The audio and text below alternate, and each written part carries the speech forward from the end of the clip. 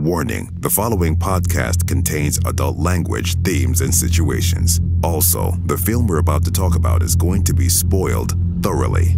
Listener discretion is advised. Enjoy this show. In the early to mid 90s, films starring an antagonizing pain in the ass character who slowly drops their guard only to realize the object of their animosity was actually their best friend all along were all the rage. While Driving Miss Daisy and The Bodyguard managed to gain critical and financial success respectively, Nicolas Cage's foray into this short lived genre didn't go quite as well. But does this film deserve its place in relative obscurity? Or is it a lost gem? We'll find out as we break down the 1994 comedy drama Guarding Tess. Okay, let's run. I'm like a prickly pear. I What do you say we cut the chit chat? A hole.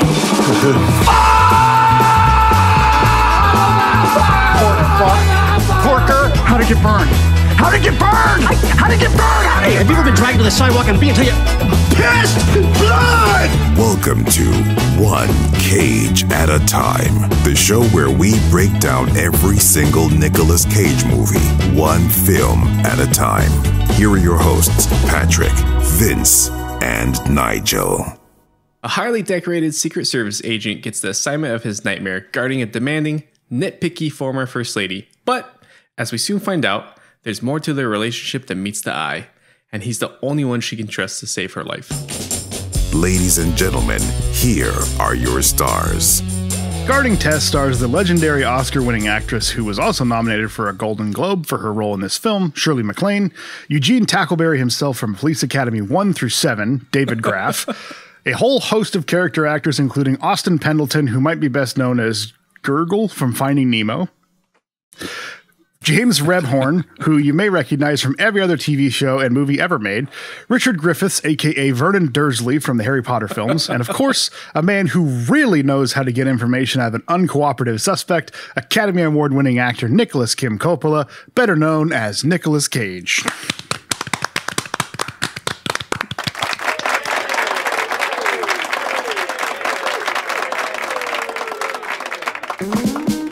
Let's dive into the nitty gritty. Guarding Tess was released on March 11th, 1994, with a budget of $20 million, which is a lot in 1994 money. But it made $31 million, so it recouped, but didn't really turn much of a profit.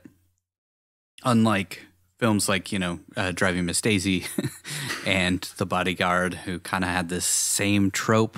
I, I noticed this is a thing that just went through the 90s there for a while.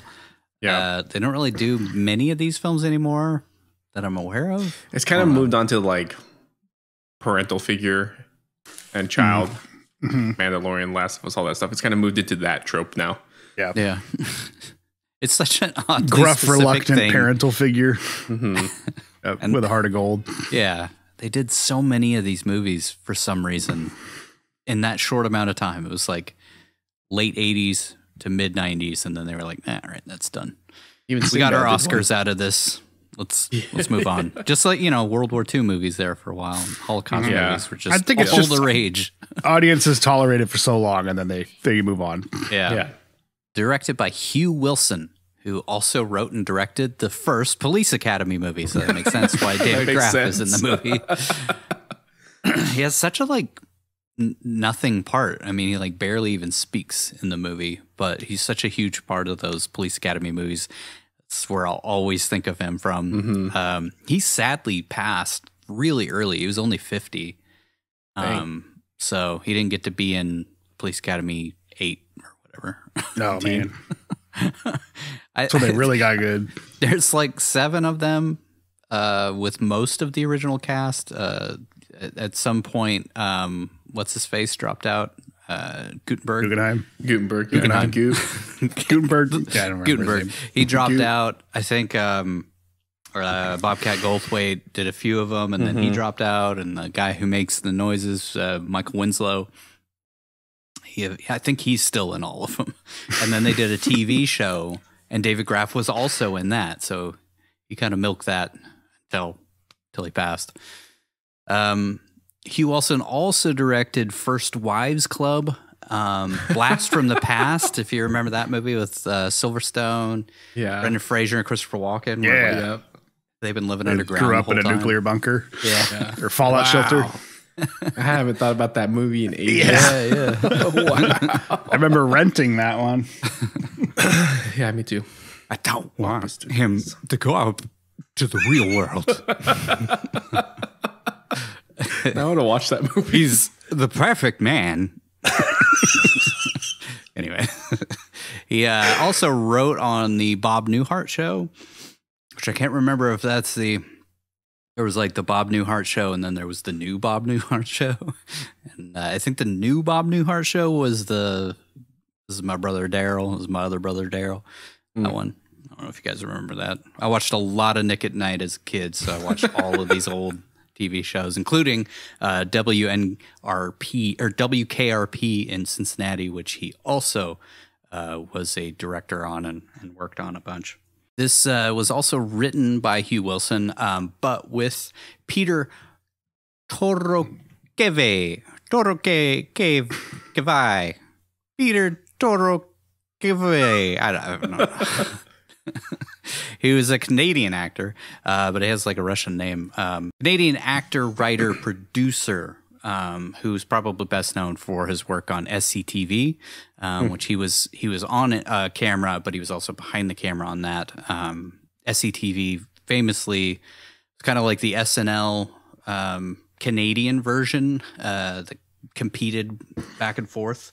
Um, launched the careers of such stars as John Candy, Eugene Levy, Rick Moranis, Catherine O'Hara, Harold Ramis, Martin Short, and Dave Thomas, and among others. I mean, it's a crazy list of people, and it was wasn't on for very long. No, yeah. Uh, Dave Thomas, where, the Wendy's guy. no, Dave Thomas, the uh, uh, Doug and Bob McKenzie guy, Oh, True Yeah, True yeah. White North, or yeah, Great True White North. Great, Great White North. That's right. Uh, that actually was on um, SCTV. That's where that Yeah. sketch came from. I only s- saw it in a Rush concert. they had a clip for it. That's where I get all my pop culture references, from intros to Rush songs. uh, this was shot by Brian J. Reynolds, uh, who has mostly worked in TV. Oddly, uh, this is one of the few movies. Most of the movies that he's done have been made for TV movies. Is kind of weird that um, he jumped into films a few times, but he's mostly in TV. Um, also shot Tekken. Oddly, randomly, they were like, "Get the get the Guarding Tess guy for Tekken." he seems to have a real eye for action. um, also shot on NYPD Blue, The Closer, Better Off Ted, and that new reboot of 90210. Edited by Sidney Levin, who um, also edited Mean Streets. He said, She Said, and Larger Than Life, which is that movie where Bill Murray in- inherits an elephant. Anybody remembers that movie? No. he, he like inherits uh, an elephant and then he ends up it's kind of one of those movies where it's like he's trying to get across country with this elephant and then he starts to love the elephant and then he decides to like So it falls into the same Marry trope elephant. here. yeah Yeah. yeah the elephant is the asshole in this one actually it's more like bill murray is the asshole, asshole. in this one That's so against type for him. exactly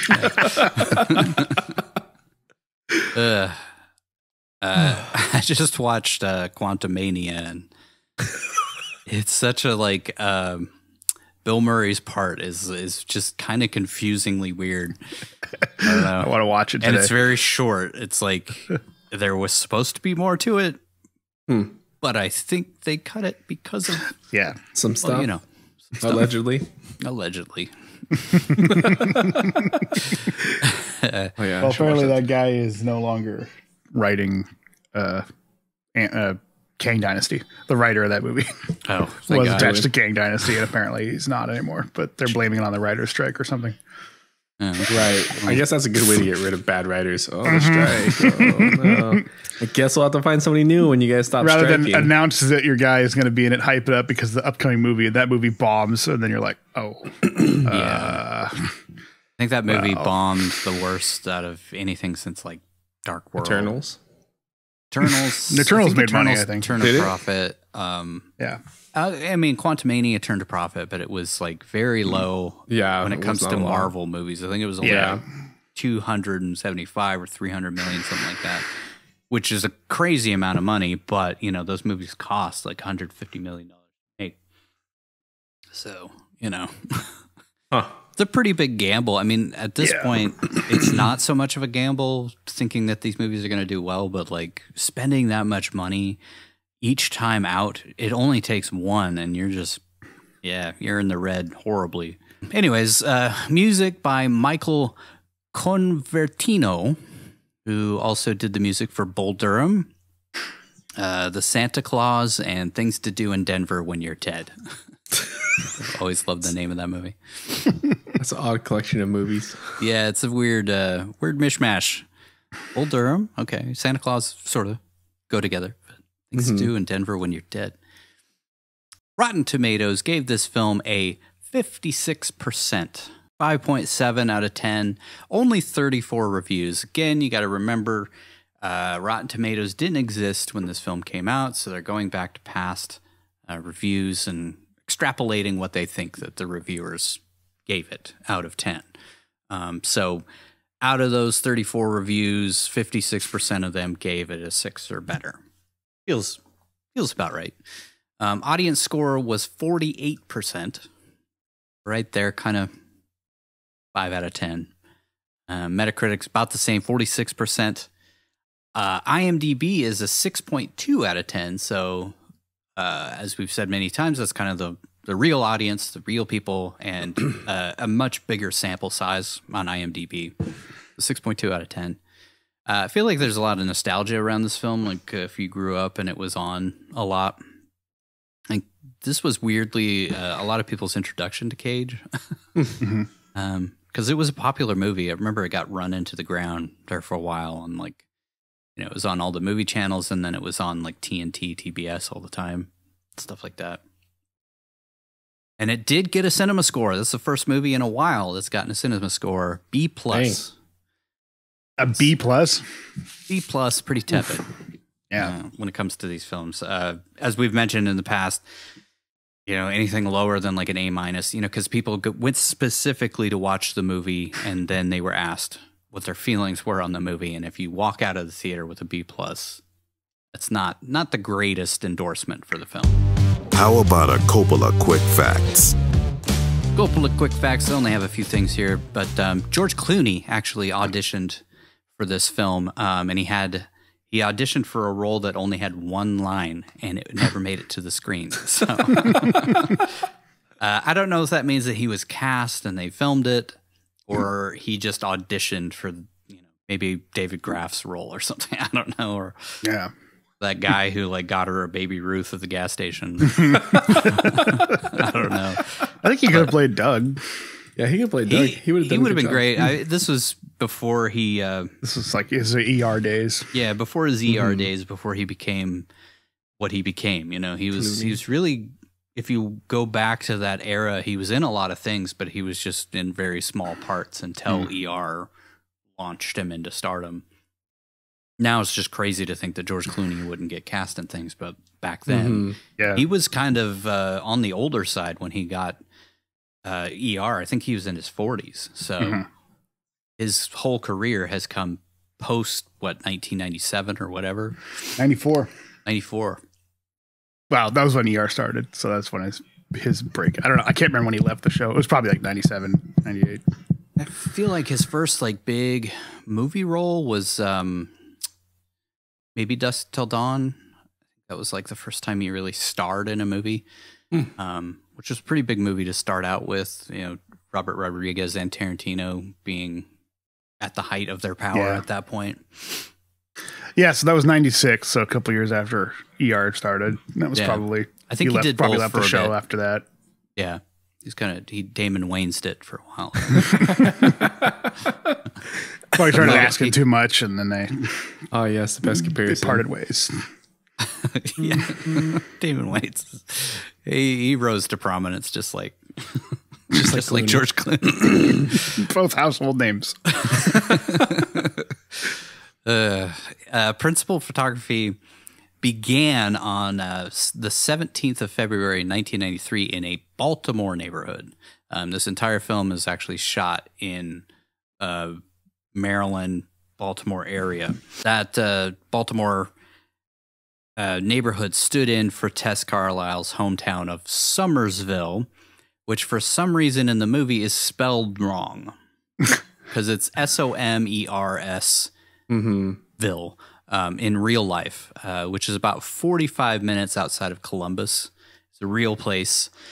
Um, I'm not sure. Maybe they just wanted to fictionalize it a little bit. Yeah, probably. Um, I'm not really sure why that choice was made, but I think there's also there's legal issues sometimes with using real cities, depending That on what they, sense. you know, you have to. There's local entities that will require money to use Mm. the name or landmarks and stuff, and it varies from city to city and country to country. So, I think it's easier to just sidestep it and just make a fake town and have not to deal with that shit. yeah, this one is so like close though. That's the weird thing. It's like Yeah, S O M E R versus summer. This was actually the the house was actually located in the historic Mount Washington section of Baltimore, in Maryland. Um, it does. I don't know. I, it does feel like Ohio, and it feels like Maryland at the same time. It's weird. uh, Cage has said of his character, secret agent, se- secret service special agent in charge, whatever his, his full title is, uh, Doug Chesnick. Doug is straightforward, very focused, very direct, but he is also one of those guys who joined the Secret Service because he likes the adrenaline rush that comes from a high action job. The problem is, in the service of Mrs. Carlisle, he's basically a waiter or a butler. So that kind of informed his whole performance throughout this movie. Adrenaline junkie who's basically just a waiter. yeah. we want to be I mean, you go you go from the president's Secret Service detail to yeah. The wife of the former Yeah. president Guarding some old lady out in some homestead in out Ohio. in the middle of nowhere. Oh, yeah. That's the biggest offense.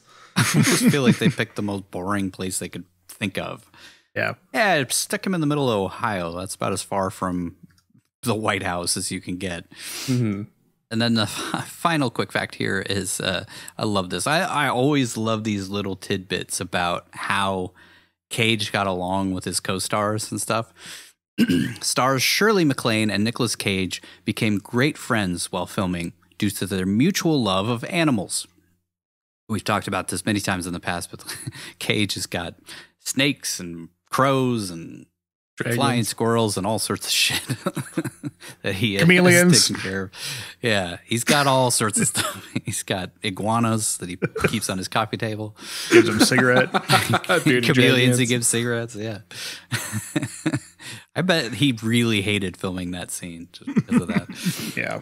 Anyways, they went on to co adopt many animals together, including a ferret named Whiskers and a zebra named Mr. Zed, which is funny because they talk about Mr. Ed in this film. Oh man, That's awesome.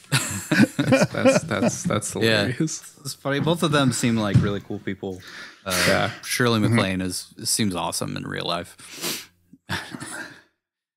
I just love that. I just love the idea. You want to co-adopt a ferret with me? Do they share custody of it? Probably go back and forth. I don't know. Maybe because they both. Well, I don't know. Uh, at the time, '94, I think Cage was still living in Los Angeles, so maybe they were both in LA. It's probably like something where it's like they co-adopted to pay for an animal that is, lives inside of an anim- animal sanctuary or a zoo or something. But still awesome just to think that Shirley MacLaine and Nicolas Cage bought a zebra together. Uh, that's great. All right, it's time to break down the film one scene at a time. Act 1 Why don't we set some shit up? Our story begins at a stately manor in Summersville, Ohio. Nick's character, Doug Chesnick, pulls up in the height of 1990s elegance and design, a gorgeous, brand newish Chrysler LeBaron sedan. wow, those cars were everywhere in the Yeah. 90s. It's such an ugly car. They're awful. Uh, it fits his character so well, though. Yeah. Inside, he makes his way upstairs holding a food tray with a big smile on his face. Before entering the room, he removes a pistol from his belt, knocks on the door, and announces he's there to say goodbye since he's going. I'm going. Uh, after he receives no answer, he leaves the food tray on a nearby table, takes his gun, and makes his way to the home's kitchen. He excitedly tells a group of staff members goodbye, and next we see him smiling his ass off while drinking a Bloody Mary on a plane. We cut to a long aerial shot of the Potomac River in Washington, D.C., while the score goes absolutely apeshit for some reason. just raise the flutes and everything's just going nuts.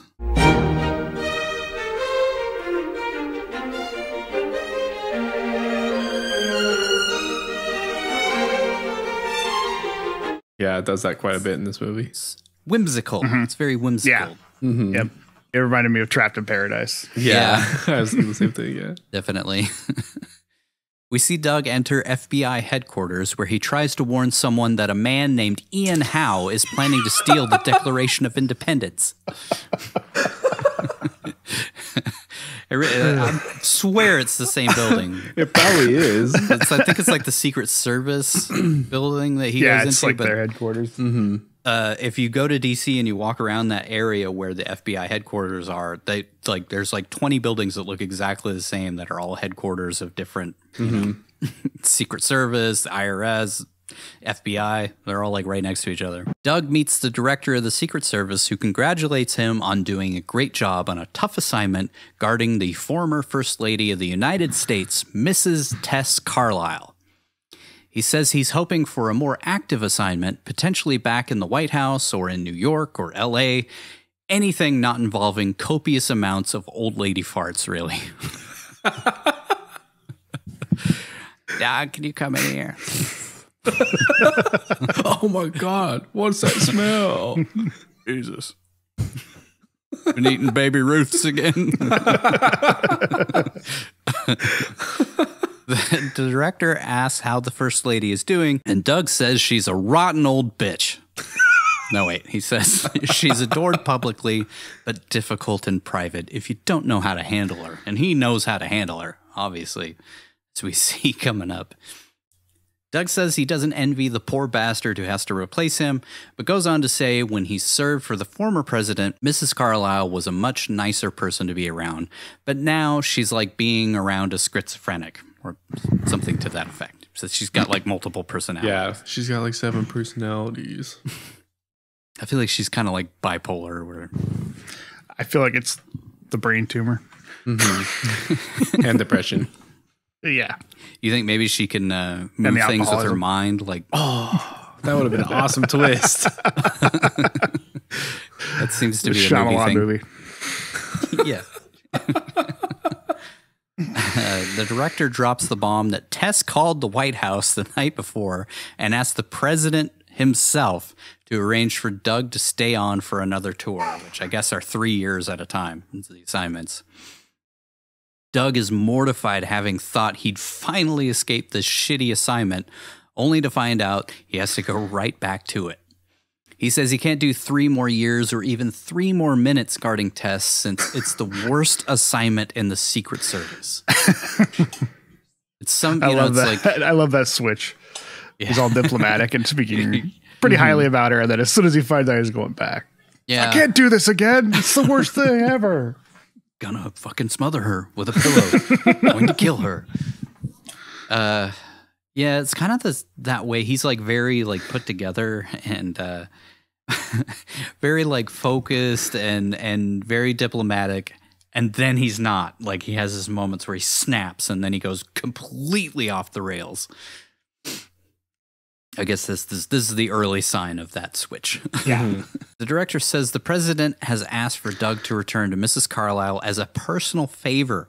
And after a moment of contemplation as to whether he wants to say no to the president of the United States, we see him return to bumfuck Ohio. Could be worse, I guess. At least he doesn't live in uh, East Palestine. That's a whole nother can of worms up there. Oh my god. Doug pops back into the house filled with Secret Service agents, cooks, a chauffeur named Earl, etc. Uh, this is our first. Uh, we see each time that Earl is on camera, he kind of does something that irks Doug in some way. Yeah. Which, uh, yeah, spoilers for later. he pops in like he never left, and they're all surprised to see him. That guy who kept Harry Potter trapped in a closet under the stairs asks Doug if he's back to pick up his accoutrement. and Doug tells him to speak English, so he says, just back to pick up your shit. While doing like an American accent. You guys, it's just the comic relief Yeah. throughout, Yeah. which works sometimes some of the time.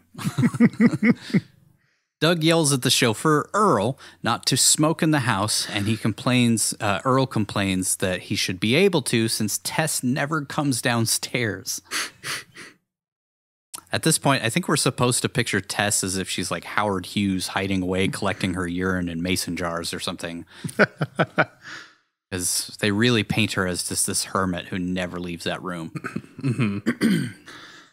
Fred, Harry Potter's uncle, nicely decorates a food tray with a rose, but Doug rips the rose in half and pops the flower into his suit jacket, that little lapel thing, much to Fred and the chef's terror.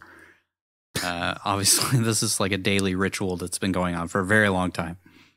Doug just ripped the rose in half. Doug takes the food dish upstairs where he is greeted by Kimberly, Mrs. Carlisle's weird Aspie secretary, who is also shocked to see Doug back. She's almost just weird for the sake of being weird. Um, I, I think it was to show that like Mrs. Carlisle is actually a good person, and she hires these local people who may or may not be uh, Yeah. the right choice for the job. Which her judgment on one of them is pretty terrible. You know, yeah, it seems like uh at first when you first meet her, she's sort of like browbeat. It seems like she's she's browbeaten and silent because of how strong of a personality Tess is. But then hmm. later on, you find out it's just that's just who she is, and Tess hired her anyway. Doug takes his gun off and knocks on the door, but once again, he gets no answer. So he angrily yells, Breakfast! You can tell he's Making just, my he's just- breakfast. He's just fucking over it at this point. you doing down here? Making my lunch. We hear Tess say, Come in, after Doug gets frustrated, and Doug enters to see Oscar winner Shirley MacLaine aggressively filling a mason jar with pee while repeating, Come in with the milk, come in with the milk, come in with the milk. oh, wait, she's, she's perfectly well kept and is oh clipping my articles out of God. newspaper. Anybody see the aviator? Come in with the milk. She pays Doug no mind until he drops some of her books she had on her bed on the floor, and he leaves the food tray in the in the book's place. just picks them up and just drops them. He begins to walk out, but she stops him by saying, "You seem to have dropped some of my things on the floor." He begrudgingly picks up the books while she calls him a good boy, which obviously pisses him off. She asks if people still remember she even exists in DC, and Doug asks her why the hell she forced him to come back. She says, Because I like you, Douglas, and is sad that he'd ever want to leave her behind since she's such a treat to be around. He frustratedly tells her he wants to get back to his life in Washington, but she calls it a dead end town for his career and that she needs him there. I think really she just spoilers for later. She just didn't want anybody new coming in while she's dying, you know. Mm-hmm. Probably doesn't have much time left. I don't really know what the uh, the timeline, the overall timeline of this is. It feels like three or four months, maybe, because it's winter when it starts, but that's Ohio, so it could Yeah. be Yeah. as early as like September, honestly. um, and then we see Christmas go by, and then some more time goes by, and she's like freezing at the lake uh, before she gets k- kidnapped. Spoilers. Um, so I don't know, like three or four months. Yeah. I figured Yeah, it was that's what I'd think. Yeah, about four four months or so. Yeah. I mean, when they show spoilers, the tumor in her head, it's pretty large. Like, she yeah. doesn't have a lot of time left. Mm-hmm. Yeah. Which really, I guess, uh, if you go by when we see that tumor in her head, um, it's uh, she lets Doug back in like within a couple of days, him and his team back in, and then the kidnapping happens shortly after that. No, Mhm. no, because she Well, she goes to the the presidential library, and anyways, we're we're getting way ahead of Yeah, doesn't ourselves. matter. but The timeline of this movie doesn't really matter. no, it doesn't. Um, he tells her he came back of his own free will, which she calls bullshit. he says he's an SAIC, so it's his right to refuse any assignment, and she condescendingly asks what the hell a SAIC is, to which he says special agent in charge. This causes her to get all sorts of assholish and says Doug is only in charge because she forced him to come back and he has absolutely no free will of his own. I mean, that's kind of true. He is mm-hmm. kind of forced into this because the fucking president is asking Yeah. him Yeah. to come back personally. He looks at her like he wants to blow one of her toes off with a revolver at point blank range for a second before she says she has exciting news for him. She tells him she has an inoperable brain tumor, but he thinks she's just messing with him. She also says she bought he and his men a, men a Scud missile launcher and she wants to go to the opera. Then says, which one of those do you think is true? So, you know, can't imagine why he doesn't actually think that she has a brain tumor. I feel like she does this a lot, just kind of screwing with him. But he he does seem to uh, react as if he knew something was up um, when it's like revealed officially later on. Yeah.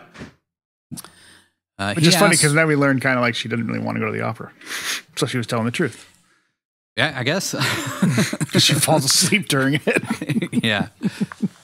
I think it's, it's funny because she makes such a big deal about it being, you know, such highbrow sophistication, um, which coming Yeah. up here.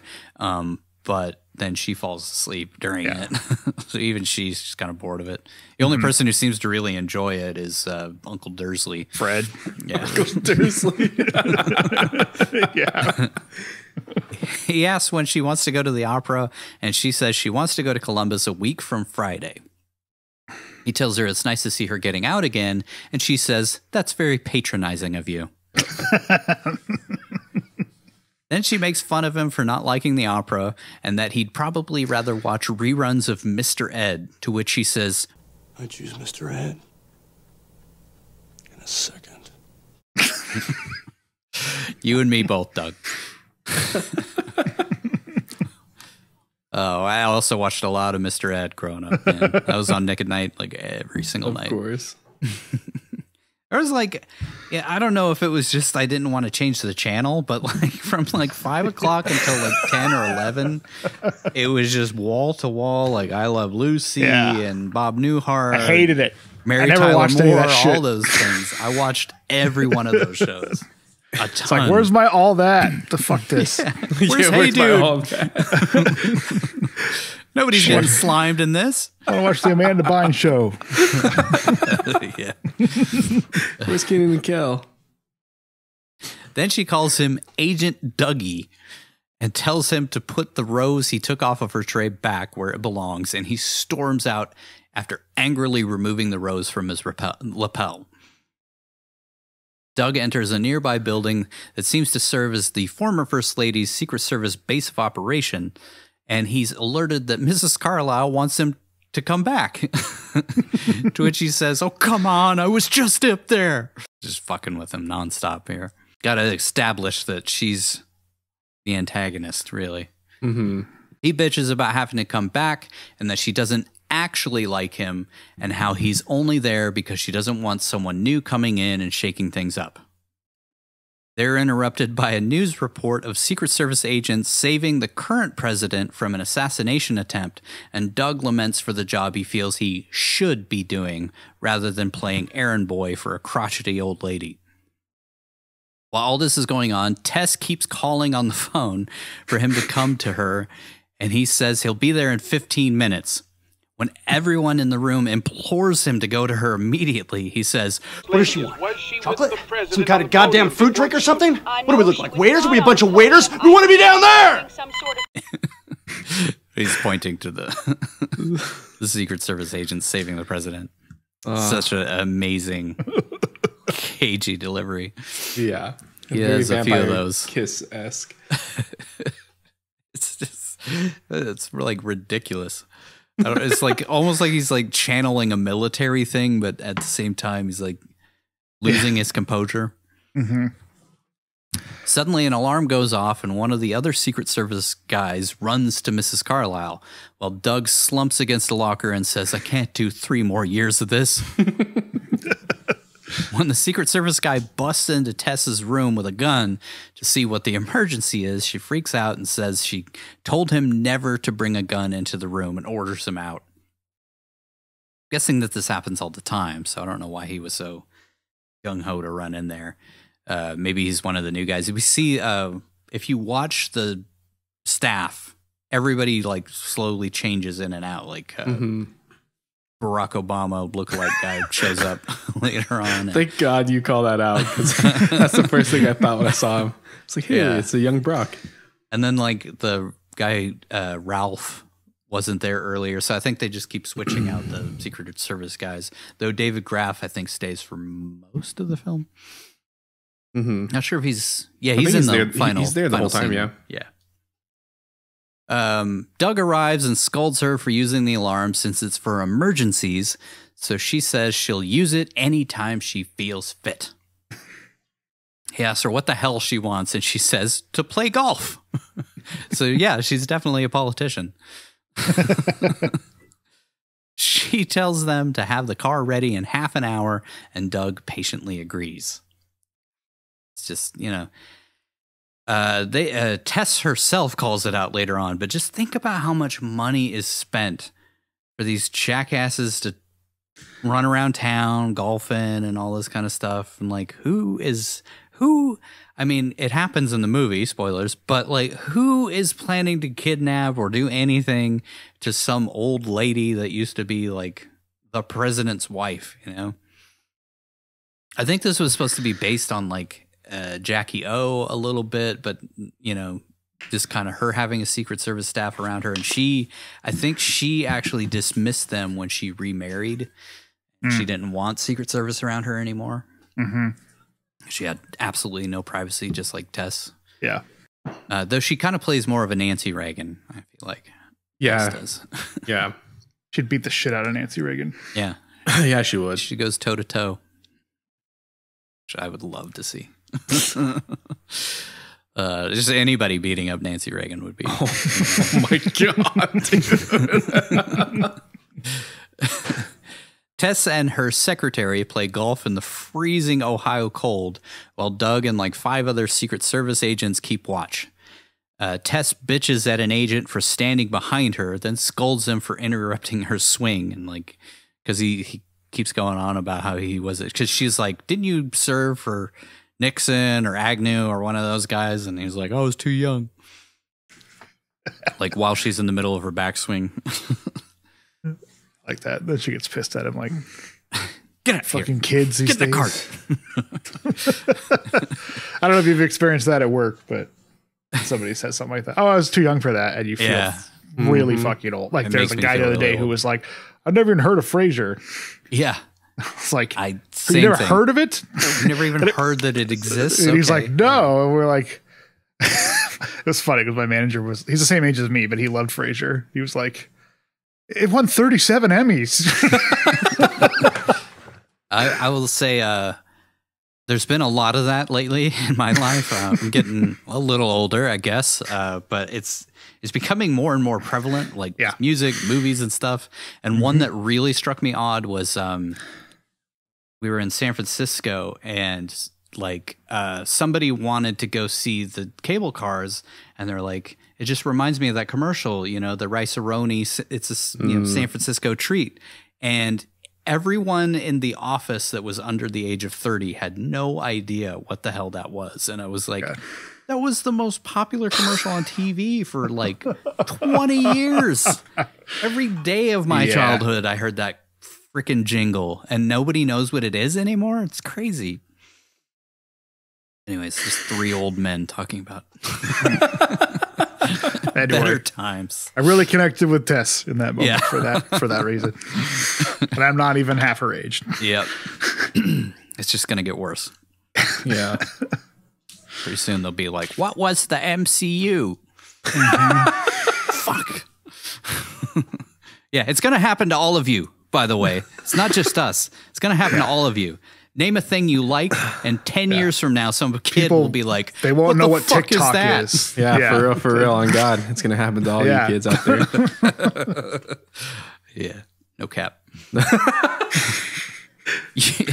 Eugene Tackleberry asked Doug why, after five years of Mrs. Carlisle sitting in her room, she would suddenly want to go play golf. And Tess tells them all to shut up. Synchronized swimming. That's what's coming next. Tess shanks a ball into the woods and tells Doug to be a good boy and go get it. he puts his foot down by saying, I'm a Secret Service agent, Mrs. Carlisle, not a caddy. You want that ball? I suggest you go get it yourself. He goes on to say he intends to do his job by the book from now on since he's been forced to come back, and that he won't be doing any more errands, snack runs, and that he won't be checking his gun at the door anymore. He tells her if she doesn't like it to call Washington and get a new Doug, while she stares daggers at him. Later that night, he uh, confidently recounts the story to his fellow agent, agents about telling her off at some diner, but is interrupted by a call from the president himself, who tells an exasperated Doug that he received a call from Tess Carlisle saying Doug tore up her flowers. Feel like a goddamn idiot. That's his go to thing, the president. He scolds Doug, saying he needs to get along with Mrs. Carlisle since her husband was the president when he was vice president. Um, that Tess also championed his nomination and he owes her a lot of debt. He says if he gets any more phone calls from Mrs. Carlisle, he'll have Doug guarding his dog and goes on to say he feels like a goddamn idiot having to call Doug about a goddamn flower. Uh, I really love the the president's calls because they're like they're always like very cordial and nice, but then he gets like a moment where he goes off the deep end and starts screaming at him. and you can tell Doug is just like, okay, okay, Mr. President. Yeah, they're great. Yeah. And he's always shocked to get the call. Doug returns to his men with his tail between his legs and looks like he's on the verge of crying. Uh, Tess gets ready for the opera while Uncle Dursley does a dance to some opera downstairs for the wait staff. Italia 640 In Alemagna 231 It was this or the Goodbye Horses tuck dance from Silence of the Lambs, so I'm sure they're happy. uh, I wanna s- I don't want to see that actually. Never mind. the, the Secret Service agents prep Uzis and all sorts of crazy shit to take the former First Lady to an opera in Columbus, Ohio. But I guess given events we see later, maybe they weren't wrong to be overly cautious. I really want to see Uncle Dursley doing the goodbye horses stance. Uh, Would you fuck me, Harry? I'd fuck me. I'd fuck you so hard. I'd fuck me hard. Was I a great big fat person? He says, was she a great big because but he's a great big fat person. They did him dirty by making him wear white the entire fucking movie. Yeah, it, it did not hide he's supposed to be like her nurse. Think that's what's going Yeah. on there. Yeah, I think he's her nurse. Yeah, But he never interacts with her. Like he never goes to goes, up to her room and helps out with her. no, he goes to Um, opera with them. But I'm pretty positive he's the nurse. That's why he's wearing Yeah. white the entire Yeah, time. he. I wondered that too, but yeah, he is. He's her. They got the most unhealthy guy in Hollywood to be her nurse. I like when she checks out. happy later on. She tells him to do some sit ups. Yeah. Red, maybe some sit ups. and he's like, Would you fuck me? Fuck me hard.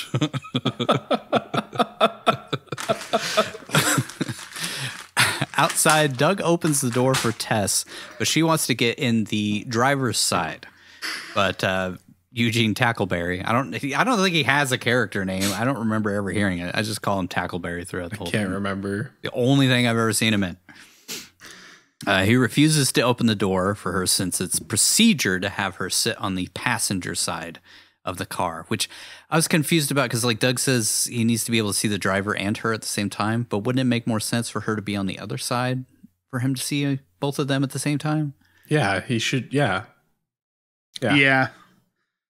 But I think because he can always turn around and look, and the driver can't safely do that. So if she's sitting directly behind the driver, the driver can't see her as easily as a Gotcha. but the passenger. could. not part of her security detail. He's just a chauffeur. Yeah. He's yeah, not part but of it could also Service. just be he could see if she's taking her seatbelt off or doing anything else that's unsafe. I don't know. Hmm. That it makes sense to me. Maybe it's a JFK thing. God damn it! I don't. I don't remember where he was sitting. He was sat. He was sat Behind behind the uh, the the, passenger. passenger. Yeah. Which that guy also got hit, by the way. Uh, by the phantom bullet that went up and down. hmm The magic bullet. Yeah. All right, calm Magic down, bullet. Oliver Stone. Uh, she's pissed to have no personal freedom nor say even in where she sits in the car. She angrily gets in the car, but then quickly shifts to the other side, back behind the driver. Doug tells the driver, Earl, to kill the engine until she sits where she's supposed to. But she orders her driver to start the car if he wants to keep his job. It comes into play later on. Doug explains that she's not allowed to sit behind the driver in case of emergency, and she again refuses since she doesn't want the sun to be on her face. Uh, like I said, this drive from Somersville to Columbus is only like 45 minutes. So, but, you know, get, you know, she hasn't been out of the house in weeks apparently, so maybe this is a big deal. I don't know. I think you would want some sun on your face. Yeah. Doug gets increasingly more frustrated, saying they're not leaving until she's on the proper side of the car, which is behind him. Um, things get real awkward, and after a really long beat, she tearfully relents and moves to the other side of the car. She got a feel for her in that moment. It was like, you know, she just Yeah. wants to sit where she wants Yeah. to sit. Mm-hmm. Yeah, instead she gets treated like a child. hmm And she, you know, she's such a like powerful, prominent, you know, figure in politics, but she can't do anything. You know, basically can't even go to the bathroom without Hmm. having to alert the freaking Secret Service about it. So I get it. I get why she's so uh, confrontational with these guys. At the opera, Mrs. Carlisle sits in a private box while Doug watches nearby with Cher. No, wait, no, wait, that's Doug's right, but right behind her, keeping watch. it did remind me of that scene from Mhm. Moonstruck. Are they watching the Bohème? Yeah, La Boheme. Tess fights falling asleep, and eventually she slumps in her chair while the crowd kind of starts to notice that she's fallen asleep. Uh, to help avoid embarrassment, Doug attempts to pull her chair out of view, but she is startled awake, shrieks, and drops her playbill off the balcony, which causes the whole audience to take notice. She's understandably horribly embarrassed, as is Doug, and she tells him she wants to go home and that she'll never return to Columbus again. Not a big deal. Yeah. Or she's going to go watch an Ohio State football game. But go Buckeyes. Uh, on the way out, however, she's greeted by a crowd of people who applaud at her mere presence, and she turns on the charm. She smiles and shakes hands, then thanks them all for being so sweet, while the Secret Service agents try to stop some old lady from sneaking up with a shiv or a pen for an autograph. Uh, that was, you know, their biggest test they'd had in a long time. yeah. Just walking No, through I this mean, last time Cage was in an opera house, some guy tried to kill him, and then he had to shoot him in self defense or stab him in self-defense. Yeah, stab him, beat him to death. Uh, Tess has a change of heart and says she wants to stay in Columbus now, since she's obviously, since she obviously craves the uh, limelight that she once had but doesn't have anymore. Um, yeah, we get that a few times throughout this movie. Like she really enjoys, you know, having people dote over her and and, and adore her, even though she's a contemptuous bitch. At the hotel, a fellow agent asks Doug why he doesn't just let Tess do whatever the hell she wants, since there's little to no chance she'll ever actually be in danger. Is, you know, kind of true, but also, as we see, not. He says he's going to do his job right and with pride or not at all. The agent tells Doug this is a cupcake assignment and that he's let the job get too personal, and Doug seems to agree with that, at least at least a little. His uh, attitude changes a little bit from here. Mm-hmm.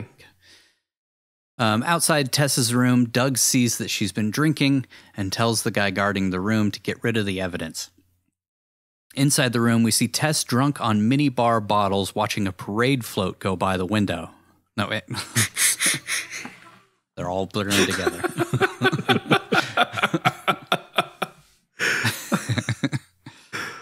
Oh, Didn't she have a real rocky relationship with her husband?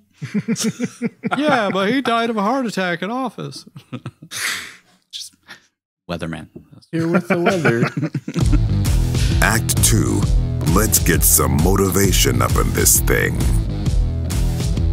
On the way back to Summersville, the detail stops for gas, and the two agents talk about how Miss Carlisle could beat the shit out of Nancy Reagan, which would be awesome to see. Tess asks an agent named Ralph to get her a baby Ruth, and she tells her driver Earl to gun it. I was trying to think that she tells the driver Earl, "Hey, you guys." Should- he tells her he can't, but again, she threatens his job and he agrees, much to her delight. They peel out, leaving the Secret Service, eh, service agents behind, and they take off after her, leaving Harry Potter's uncle, aka the comic relief of the movie, aka Fred, in the men's room at the gas station. By the way, if you look closely, there's a sign behind him that says Vernon's, which is coincidentally his name in Harry Potter. Yeah. I, I noticed that on the rewatch. I was like, what? wow, that's weird. Very, One of those you know, just serendipity moments. Yeah. We cut to that guy who played a cop in every other film in the 90s, Noble Willingham, who puts Doug on speakerphone while the whole station giggles their asses off over their former First Lady ditching the Secret Service. This scene becomes way less funny when she gets buried in a hole later in the movie. Spoilers. I just picture them all giggling again. oh, Later- wait. This, it's serious this time. Later, we see a couple police cruisers escort her and Earl home, and Doug loses it. He tells Tackleberry, I want you to go in there and tell Earl to meet me in the office. Okay? In another very cagey delivery. when confronted, Earl tries to laugh it off since Tess ordered him to drive off, but Doug throws him against a locker and screams in his face, Who sent you, baby girl? Huh? Who sent you? now, wait, that's uh, It's another thing. Deadfall. he tells Earl he's fired while he says he has no choice but to do what Tess wants since the Secret Service service agents come and go, but he lives there permanently. That's all he's got. He's just the driver. Yeah. In Mrs. So it's, so it's like the chef, the nurse, uh, Uh, her secretary, secretary. and the chauffeur are her personal staff yeah. that the Secret Service can't do anything about. Which seems like a big breach of security to have four randos that, Turns out it is. yeah. In Mrs. Carlisle's room, Doug asks if she, she enjoyed herself, and she tells him not to take that tone with her. She says she just wanted one hour of privacy, and Doug tells her he, he fired Earl since he's done this twice now, which we find out why he's been doing it. Take her to the doctor so that nobody else knows. Uh, he says he is a driver in the employ of the Secret Service. I can't do anything about the cook and the nurse. No, they work for you. But this guy works for us, and he's gone. So some some real cagey. moments right here in this act and, and for the rest of the movie. She says he's her chauffeur and he's staying. And Doug says he can't do his job effectively if she doesn't let him lead the detail, and she tells him he can leave anytime he pleases. With tears in his eyes, he says thank you, tells her goodbye, slams the door, and leaves. She follows after him and says, if I promise to never run away again, will that do? He says what she did was crazy, and she tells him he should try doing something crazy like her once in a while and live a little, but he doubles down on his regulations. He argues that they are there to protect her, but she can refuse Secret Service protection anytime she pleases. He then crosses the line and she says she gets off on ordering around seven men and no women agents and having them at her beck and call all day and night. Yeah. Oh, this is a little tad bit over the line. you just want to order around a bunch of men and treat them like shit. I think it was in response to her like telling him to get a date, or has that happened yet? Uh, Uh, 'Cause it's it- in- she think- says it there, yeah. yeah, Um, like she's emasculated him a little bit. mhm. I, get- I get the feeling that Doug's life is pretty fucking drab Yeah. and boring. He's, Yeah. he's probably very similar to like McConaughey's character in True Detective. Goes home to a mattress on the floor and one Mm-hmm. mirror on the wall. That's it. I mean, we see him in his house a couple of times, and it's just a big empty house just he Yeah. lives in. Yeah, it's Uh, kind of sad. I mean, his whole life is this job. Mhm. As that happens a lot with uh, these types of positions. Yeah. Either I'm Secret surprised that he doesn't live there. Police. And, yeah. It's just kind of weird that he lived off site to me. Hmm. Like, as the head of her security detail, you'd think he'd just live there for convenience. Yeah. Be there at a moment's notice. Right. But I guess they have other agents for that at all times. So he doesn't have to be there. He's the Shifts around the clock. Yep. Uh, she screams at him to get out, and he obliges. She tears up and grabs her head in pain. Pain. We see Doug on the toilet, where he gets a call from some guy named Santos. No, he gets another call from the president, who again scolds him since Mrs. Carlisle has taken Doug's suggestion and decided to refuse Secret Service protection. Then the president calls Tess a national treasure. Ah! And that Doug needs to fix the situation immediately. Another browbeating dressing down from the president. Calling him from Air Force One. God damn idiot. Well, he's on the shitter. yeah. Uh, he pulls up at Mrs. Carlisle's house only to find all the agents outside the gates. Doug tries to get the chef to open the door, but he refuses. Then Comic Relief tells him he's holding Mrs. Carlisle hostage and that he wants $100 in unmarked bills, a helicopter, matching sports coats, and a copy of the movie Gigi. God Guess he's a big Jennifer Lopez fan. Oh, wait, that's a different movie. It's Gigli. Earl greets Doug at the gate, and Earl says Doug owes him an apology. Doug tells Earl to let him know if she plans to leave the house, and Earl reluctantly agrees. Doug and the two other agents decide to keep watch outside the house in their cars on the street to make sure she's safe. Later, Doug follows Earl and Tess, and she tells him to get lost. They follow behind anyway to an office building where Doug again tries to reason with her, but she tells him to get away from her. Inside the building, we see Tess wasn't lying about the whole inoperable brain tumor thing and that she's undergoing a CAT scan. On a monitor, we see that she has a huge mass in her brain, and the doctor shakes his head as if there's no hope left. Or he just saw the score to the Buckeyes game against Michigan. also, no hope left. Back at home, Tessa's secretary excitedly gives her a letter from her son, and we see her greet Barry, presumably days later, and she's over the moon to see him. He immediately launches into a sales pitch for a real estate investment, and she's gutted to find out the only reason he paid her a visit was to get her to endorse the project to help generate trust and interest from investors. She firmly tells him no, and he angrily storms out while Doug watches from a distance. I Wasn't sure if that was supposed to be Doug watching, but it was like on a monitor. Mm-hmm. It was Um, weird. But then the monitors are in the operation center, which is on the grounds, so he wouldn't have been able to see that from there. No. I don't know.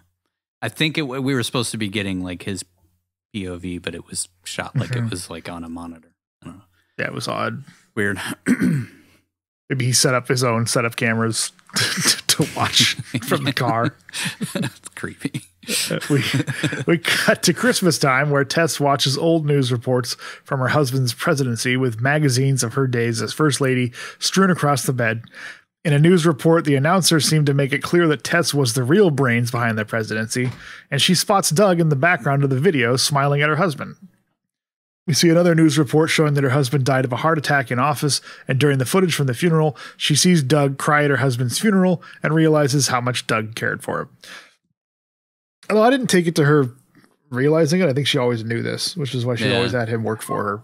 She just Yeah, I like I, think so, forget the feeling she does this a lot, this ritual of watching these old tapes and Yeah. reliving the glory days. And so she always knew that we kind of learned that she had always had a soft spot for Doug because of how he was friends with her husband and she knew him from that time.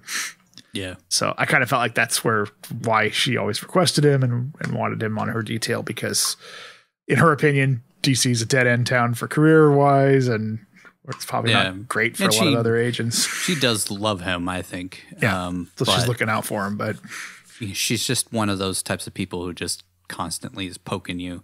Mm. Just one of those, you know, personalities. but I think, you know, Doug is kind of bored yeah, of this whole thing.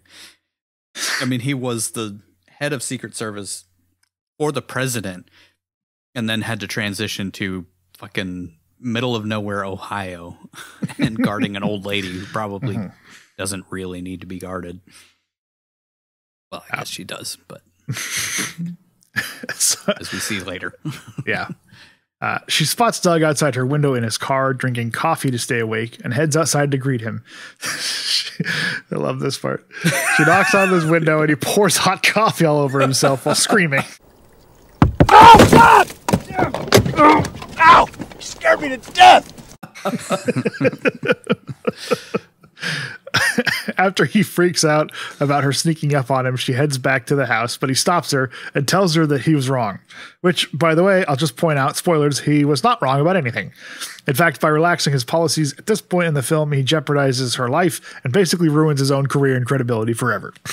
But anyway, she argues with him about how much money is wasted protecting political has beens, and he tries to talk her into letting them come back to protect her. He asks why she came outside to talk to him in the first place if she wasn't going to ask for the i- detail to be reinstated, and she asks if he would like to have a cup of coffee. that, uh, that line was great too. I was going to ask if you wanted some coffee, but. or whatever she Obviously, says. you have some.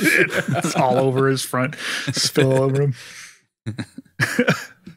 Inside, she says coffee keeps her awake, so she'd actually like to have a drink instead.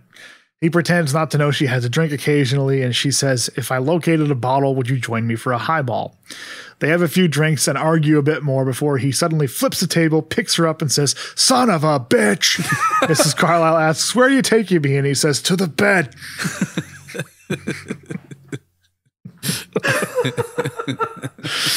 No, wait, he agrees to have a drink with her, and she talks about how she and her daughter barely speak.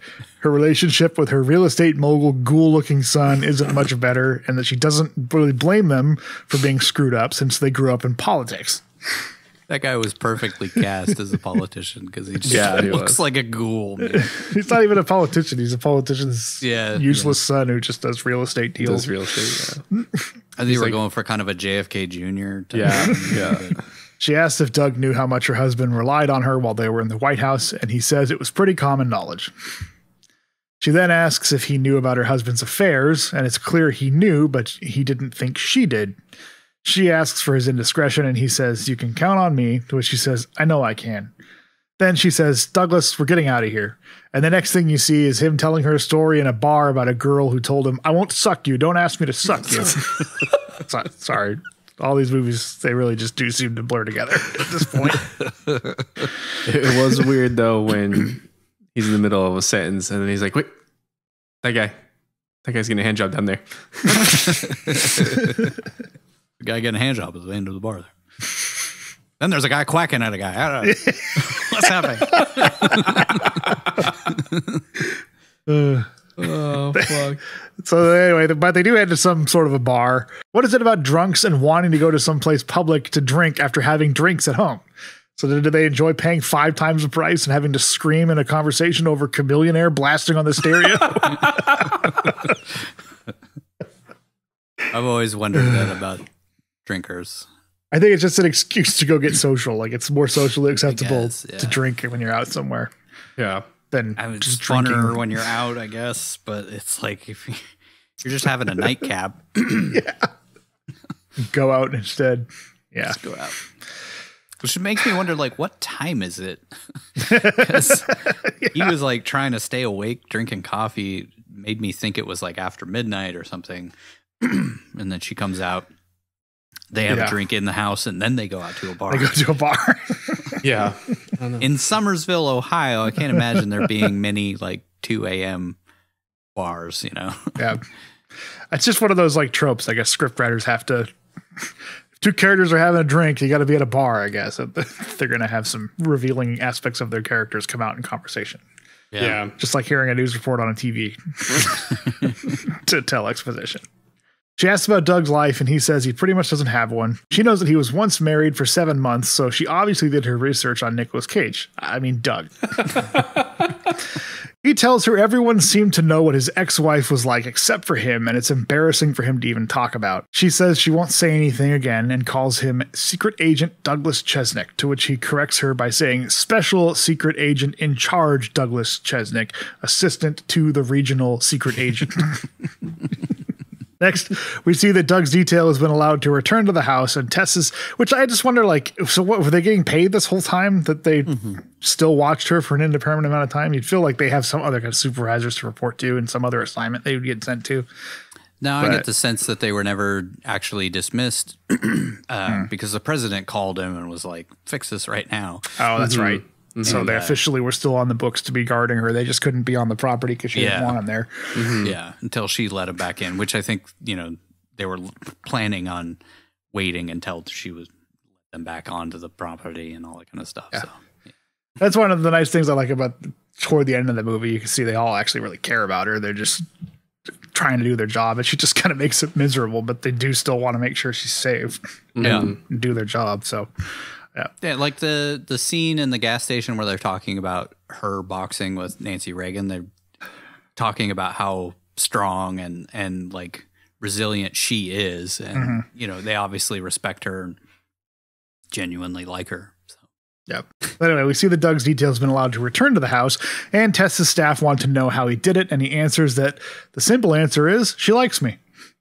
Tess strolls into the kitchen wearing a red dress, which I'm guessing is like when Ron Swanson wears his Tiger Woods shirt since Doug cured that brain tumor of hers by slamming her head on the headboard all night. Oh God.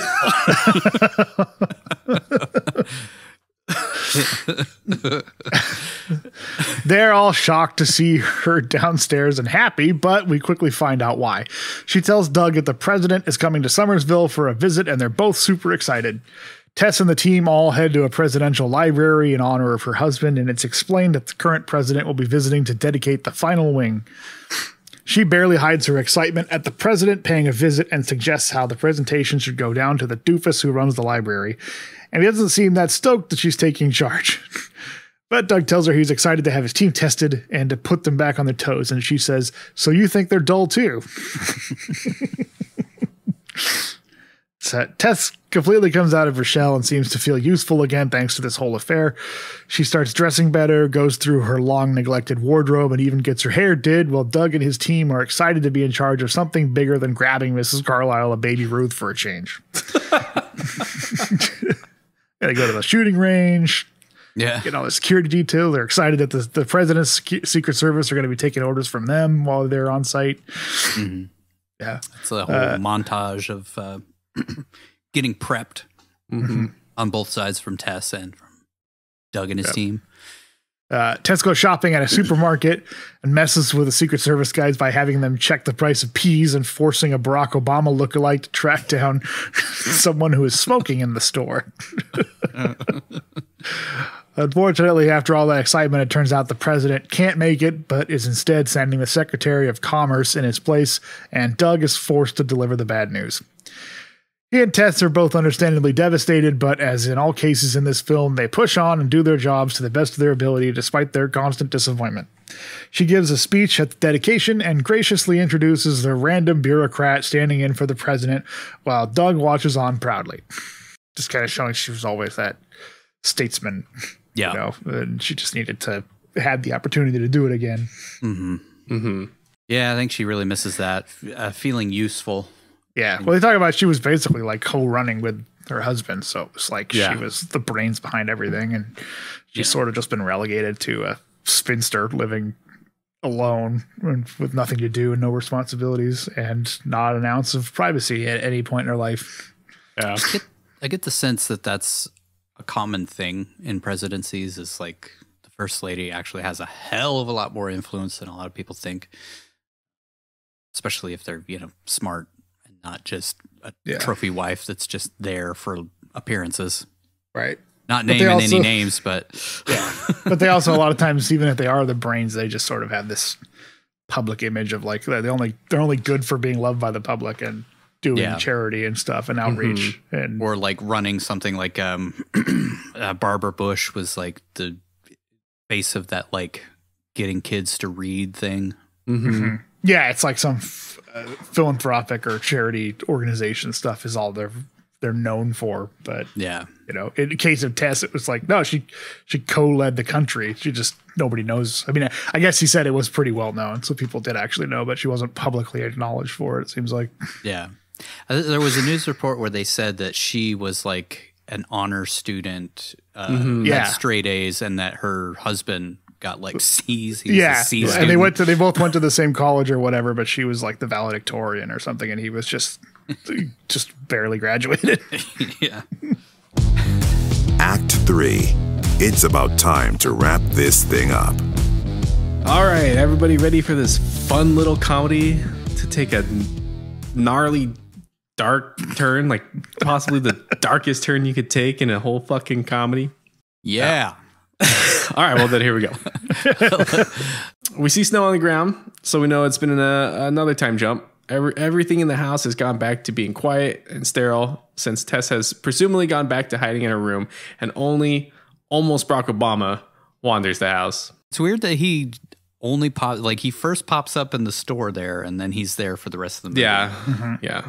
I just assume, like you said, they they're in the middle of a rotation of agents. Everybody's three Almost- years is coming up. Oh, I wonder about that from a filmmaking standpoint of like, did they lose some actors along the way? Because I thought that they would want to like build up that relationship with these seven Secret Service agents, but they keep changing them in and out. So True. Yeah. Doug is the only one who's like the permanent guy. And what's his face? Eugene Tackleberry. Tackleberry. Yeah, Tackleberry. Uh, Doug heads to Tess's room where she says she'd like to go to the lake the next day and that she'd very much appreciate it if she could go to the lake with him and no one else from the detail. He agrees and takes a look at what she's watching on TV before jokingly asking if what she's watching is better than Mr. Ed, playfully calling back to that argument they had earlier in the film. Just watching like the fucking Royals or some shit. yeah, she was watching something at Buckingham Palace. Yeah. I was confused as to what that was. I, I'm assuming it was another like callback to her presidency. yeah, like it was a visit with the president made to Buckingham or something. Go see the queen. Uh, she flips off the TV without even looking at him and sullenly slumps in her chair while he leaves the room. We see her at the lake eating by herself before Doug interrupts her and says it's getting cold. She says, Will you leave me alone, please? So he returns to the town car where we see that Earl, her chauffeur, has also come along. Time passes and we see her asleep in her chair. Doug tries to wake her, but she doesn't move. So he checks her pulse and decides it's time for them to leave. So he carries her to the car. While heading to grab her chair, Earl once again guns it, leaving Doug behind. Oh, Mrs. Carlisle. She's such a kidder. Oh, wait, no. That's not what's happening this time. So hold on. So you mean we just saw an elderly woman with a brain tumor get kidnapped by one of her closest confidants? I thought this was supposed to be a lighthearted comedy about a man cutting to the warm center of his insufferable bitch. Yeah, it's both. I like that. I like this twist a lot. Doug hoofs it to a gas station where he calls Eugene Tackleberry, who says Mrs. Carlisle, Carlisle hasn't returned and neither has Earl.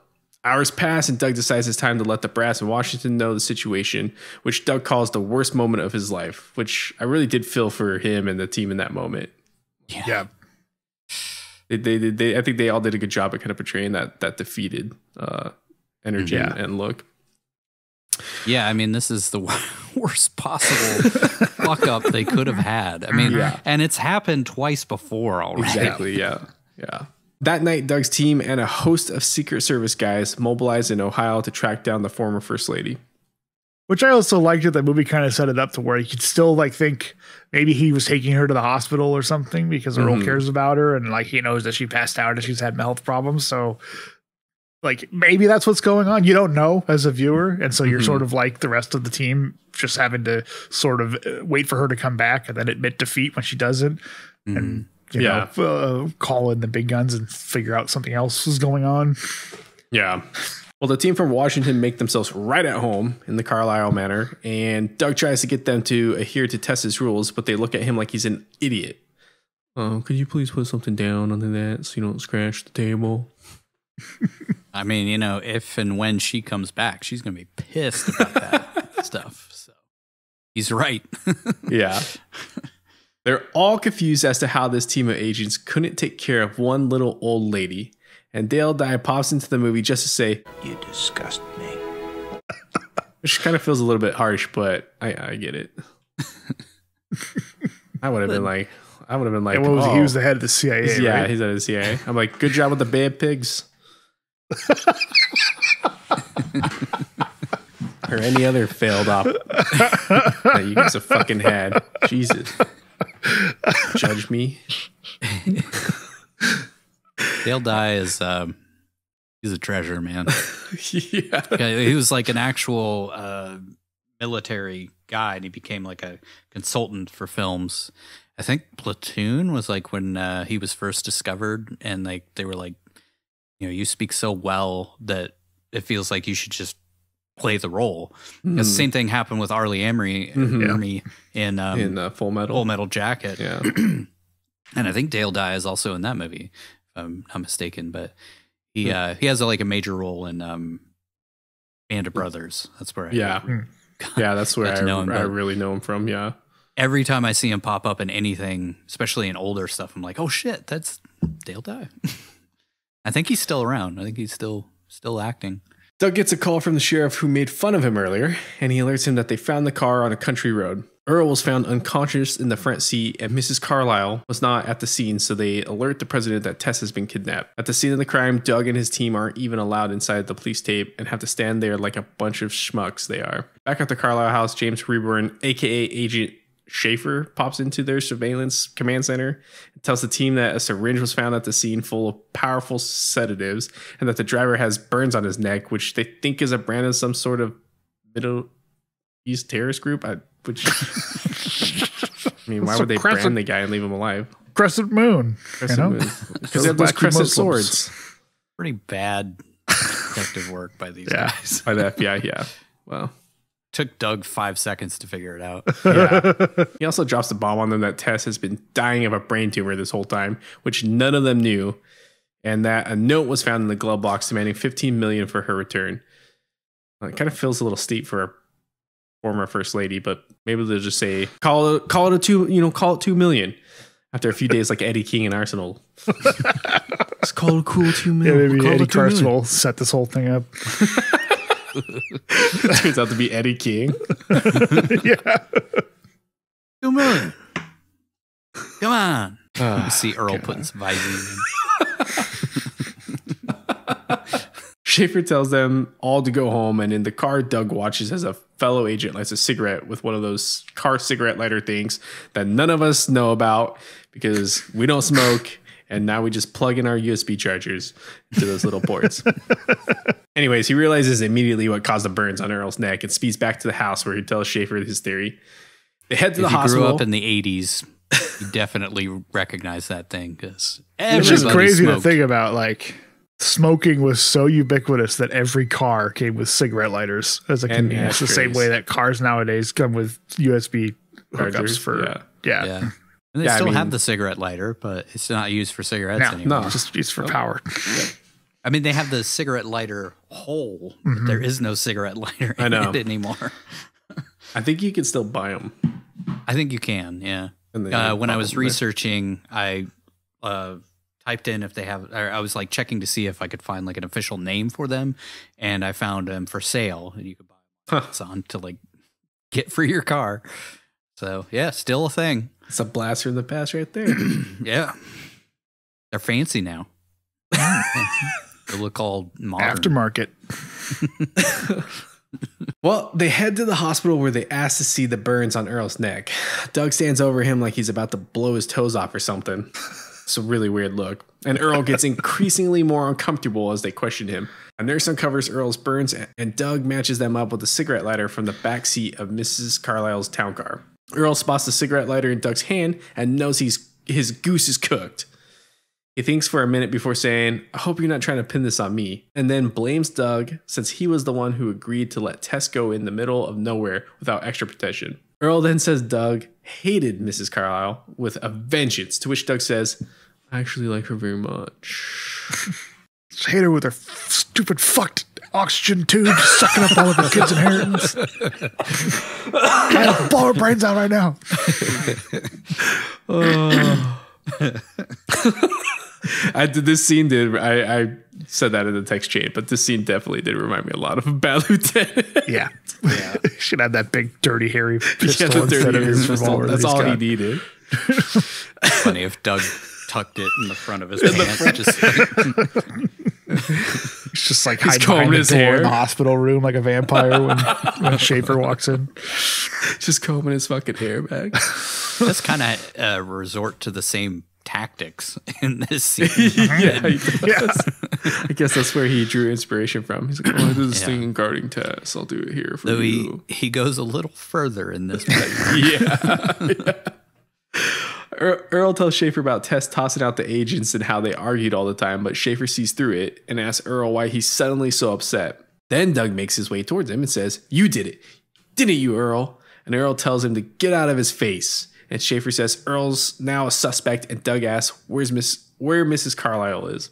Earl says, Speak to my lawyer, Agent Dougie. So Doug responds in the only way that one should by pulling out his gun and putting it into Earl's head. Schaefer is, you know, remarkably calm about what's happening right here and, and just simply says, Let's not do anything stupid here, all right?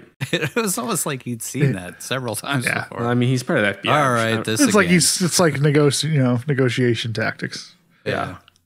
Stay calm, try to defuse the situation. Yeah. And you know, it's not the first time somebody's put a gun in a suspect's face in front of Schaefer. Yeah. And it won't be the last. Doug again asks Also, I where- kind of think Schaefer wants the answers too, but he needs Well, to yeah. go by the procedure, so he can't.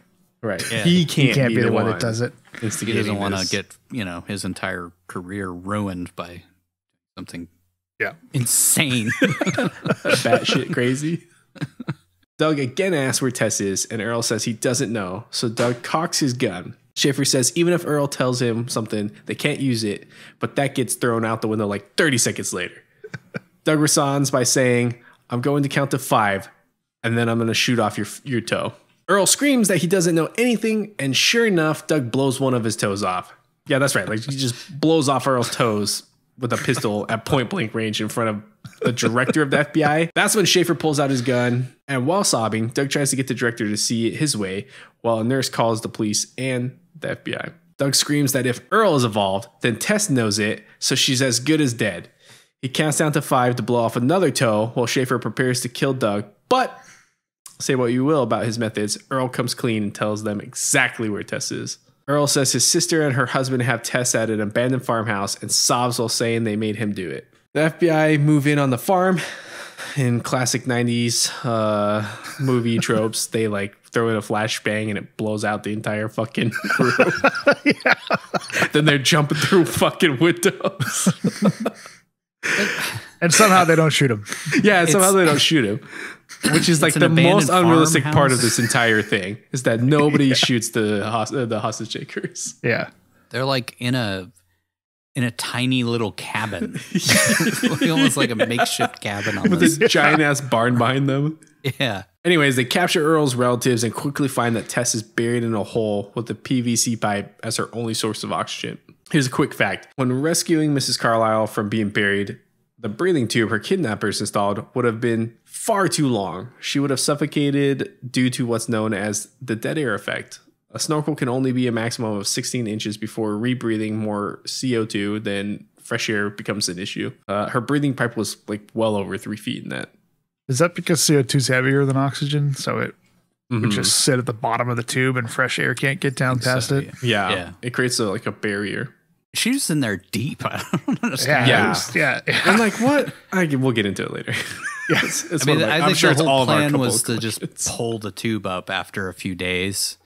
Um, I think they were keeping her alive just in case they needed her for something. Um, but I think the plan was to bury her the whole time. Yeah. Just pull that tube up, cover her up like she was never there. Mhm. They'd never find her. Oh God, though. Earl's brother-in-law says Tess is alive. Well, he's pretty sure. Maybe. Doug, the un- unhinged lunatic who fired a gun in a hospital, blowing off a guy's toes, freaks out and grabs the guy screaming. Better start saying your What? Did you do? What did you do? What did you do? Like, who the fuck let this guy back in there? Why, like, wouldn't you Yeah. remove him from the situation because he's Yeah, I don't, I don't understand why their whole team was allowed to just sort Yeah. of hang around and keep being part of the investigation where they're the ones that lost her. Wouldn't he technically be under arrest for shooting Yes. a suspect? hundred percent. Uh, I mean, I guess it kind of makes sense since they showed up with like 400 people that trample all over the crime scene. So, yeah, I mean, destroy all the evidence. yeah, I guess the more the merrier at that point. I love that shot with like all of them walking down the hill. Walking down the hill towards the house. This Yeah. whole army. How many people do you need for this? Oh, fuck.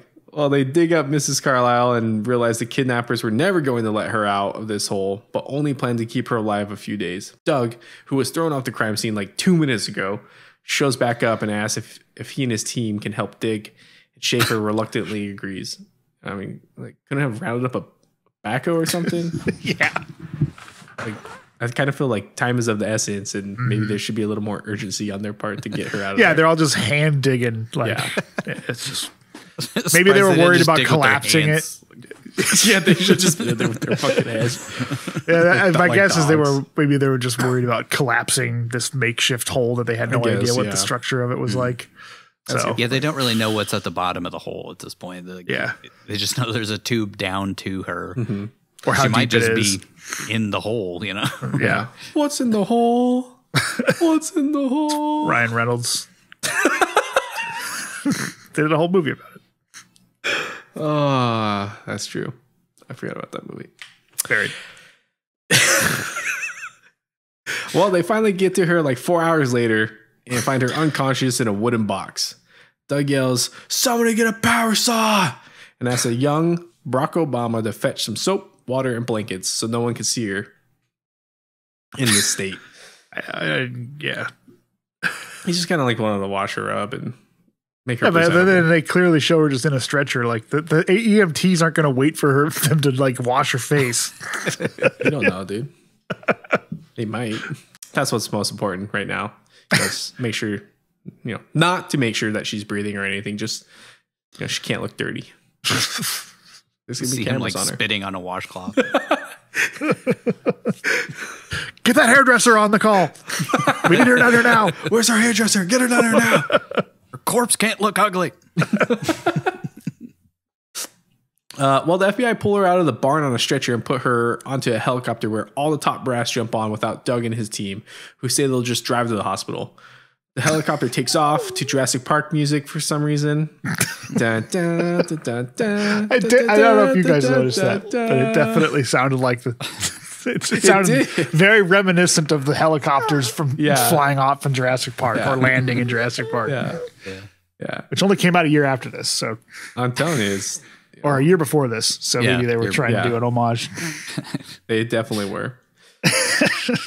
Anyways, after that music starts playing, The helicopter quickly lands, and everyone on the ground plays a fun game of telephone as they call for Doug to get to the chopper. Tess says she's not going anywhere without her security detail, so they all the top brass have to get off the helicopter to make way for Doug and his team.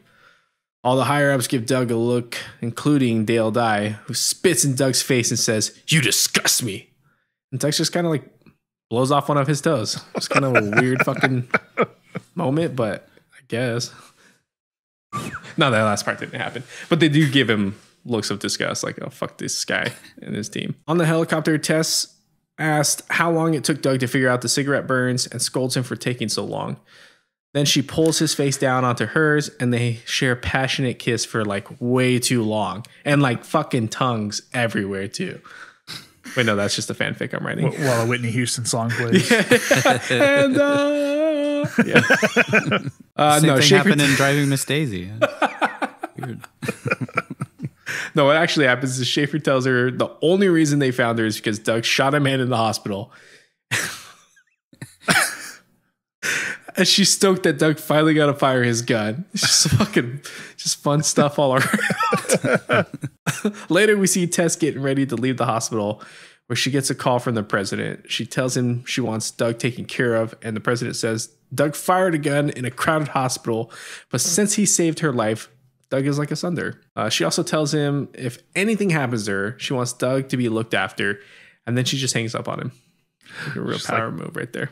The only person who can browbeat the president. Who He's we've like, seen "Uh, just browbeating Doug a couple of times Yeah. in the movie.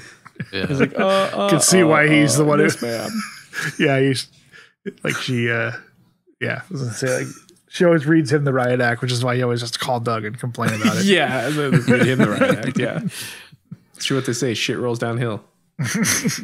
Outside the room, Mrs. Carlisle protests that she's not leaving the hospital in a wheelchair, while an orderly argues that it's policy.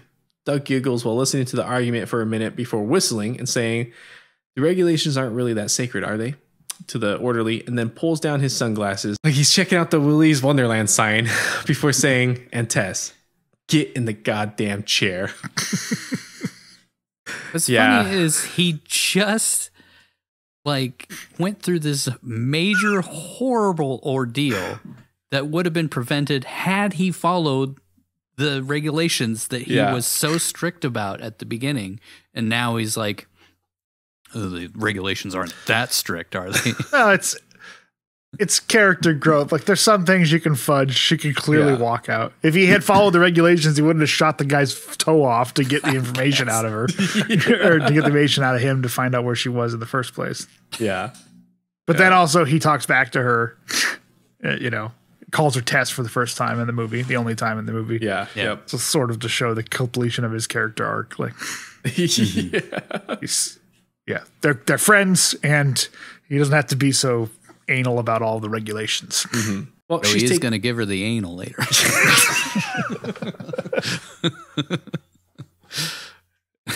Oh god wear that red dress into the kitchen again Oh my god. Bring the cigarette lighter. She's taken aback but reluctantly gets in the chair where she smiles to herself and pats Doug's arm while saying, Very good, Douglas.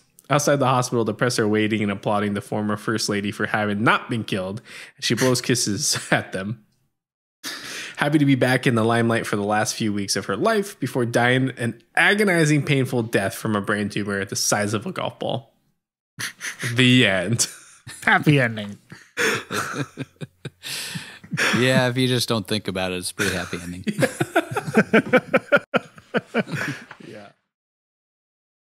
Doug Chesnic has a ton of time to kill waiting around for any hint of action while guarding a hermit old lady who sits around all day scrapbooking and watching old videos from her days in the spotlight. And there's no better way to pass the hours of boredom than expanding his mind listening to audiobooks from Libro.fm. Plus, it'll help drown out listening to Earl and Uncle Dursley all day.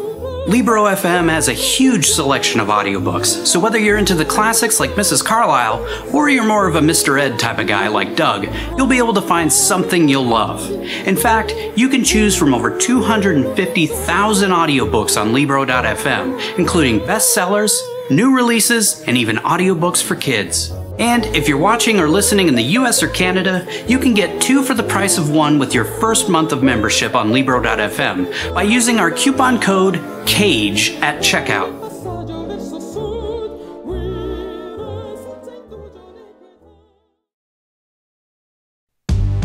We have a couple of questions before we move on.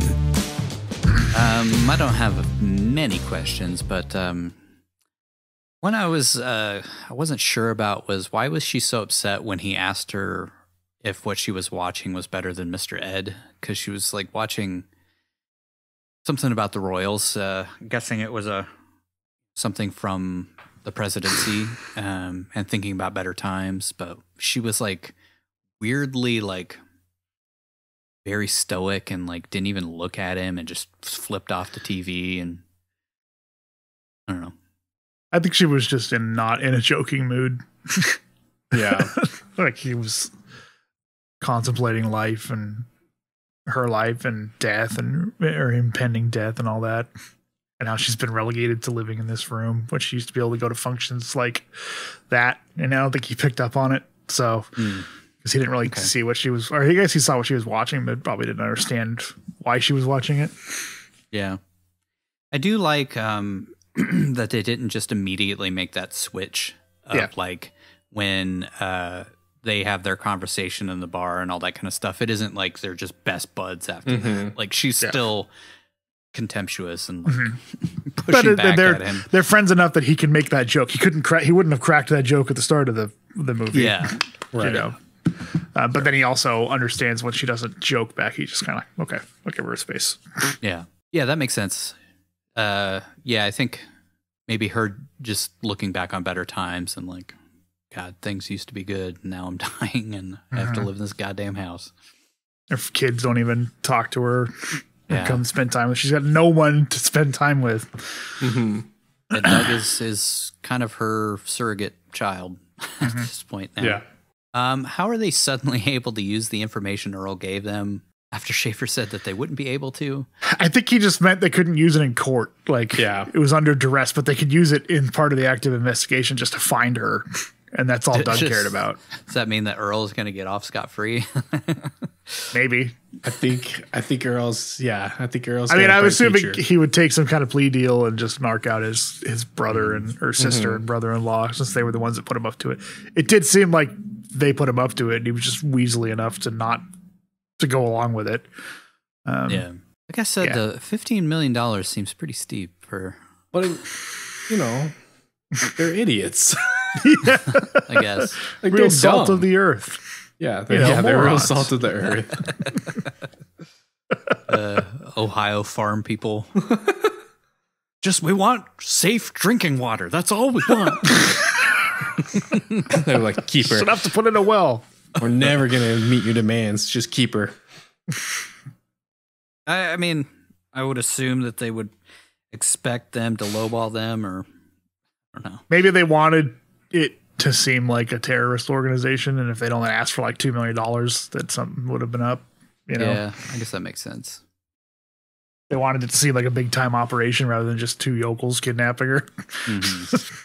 Let's see. I know she made a call to the president and all, but like, wouldn't Doug's career be completely over after Yeah. that whole hospital debacle? That was my main question. No, because he would. He's he's gonna get a presidential pardon at that point. I know. I don't but think he'd be still, like, charged. who wants to hire this guy? yeah, after I don't think it's even discounting the fact that he shot Earl's foot. Like he lost her. Like he failed his job as the head of Yeah. Secret Security. Yeah. So why does he even get to keep working in Secret Security or uh, Secret Service? So And I assume uh, this is just my head canon is that he works for Tess until she Yeah. dies, and then he's fired from the Secret Yeah. Service. right. well, I figured she hired him all on his private security instead, and then Uh, yeah, maybe. she was just telling the president like, "Hey, when I die, take care of this guy. Make sure he gets a nice job or something or pension or whatever, just to make sure that he's because she knows he's not going to be able to work as a Secret Service agent again." You could probably just I send mean, him over like, to the CIA. He could go if interrogate people. If we hadn't shown him like actually shooting Earl, if we just had to like put the gun to his head and and then he gets the confession, like it would have Yeah. been okay. But like the fact that he actually fires the gun in a hospital and blows off a guy's toe is like. I think it's just to show line he's that desperate to find out where she is because he knows Mhm. she's going to die. So he doesn't Yeah. really care if he goes to prison for shooting this guy or it screws their investigation up. He only cares about finding her. And he's so pissed. He doesn't like Earl anyway. So maybe he's always wanted to shoot True, Earl. yeah. I always dreamed of shooting this guy. he almost beats him up Yeah. he says he's fired. Yeah, this is maybe that's this is just all of those incidents boiling to a Right. yeah. like I don't, I don't know, man. I just can't see him like actually being able to keep his job after this. In any capacity. Yeah. really. I mean, at the very least, Earl could probably sue him for shooting him. Yeah, definitely. That's all I really have um, as far as questions. I feel like the movie was pretty well like contained. There weren't like a ton of things where I'm like, wait a minute. Yeah. Uh, any other questions?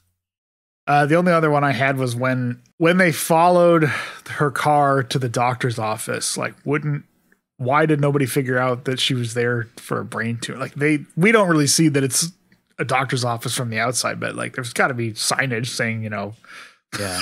oncology department or something that the rest of them would have picked up on, like she was going there for a, some kind of an appointment, unless Doug or someone knows that and they just keep it under under Mhm. wraps and they don't say anything about it. It just seemed like that was kind of a weird thing to sort of cover up or not explain fully because they're obviously there with her when she goes in. They don't follow her in, but they can sort of piece together that she's there for some kind of cancer appointment.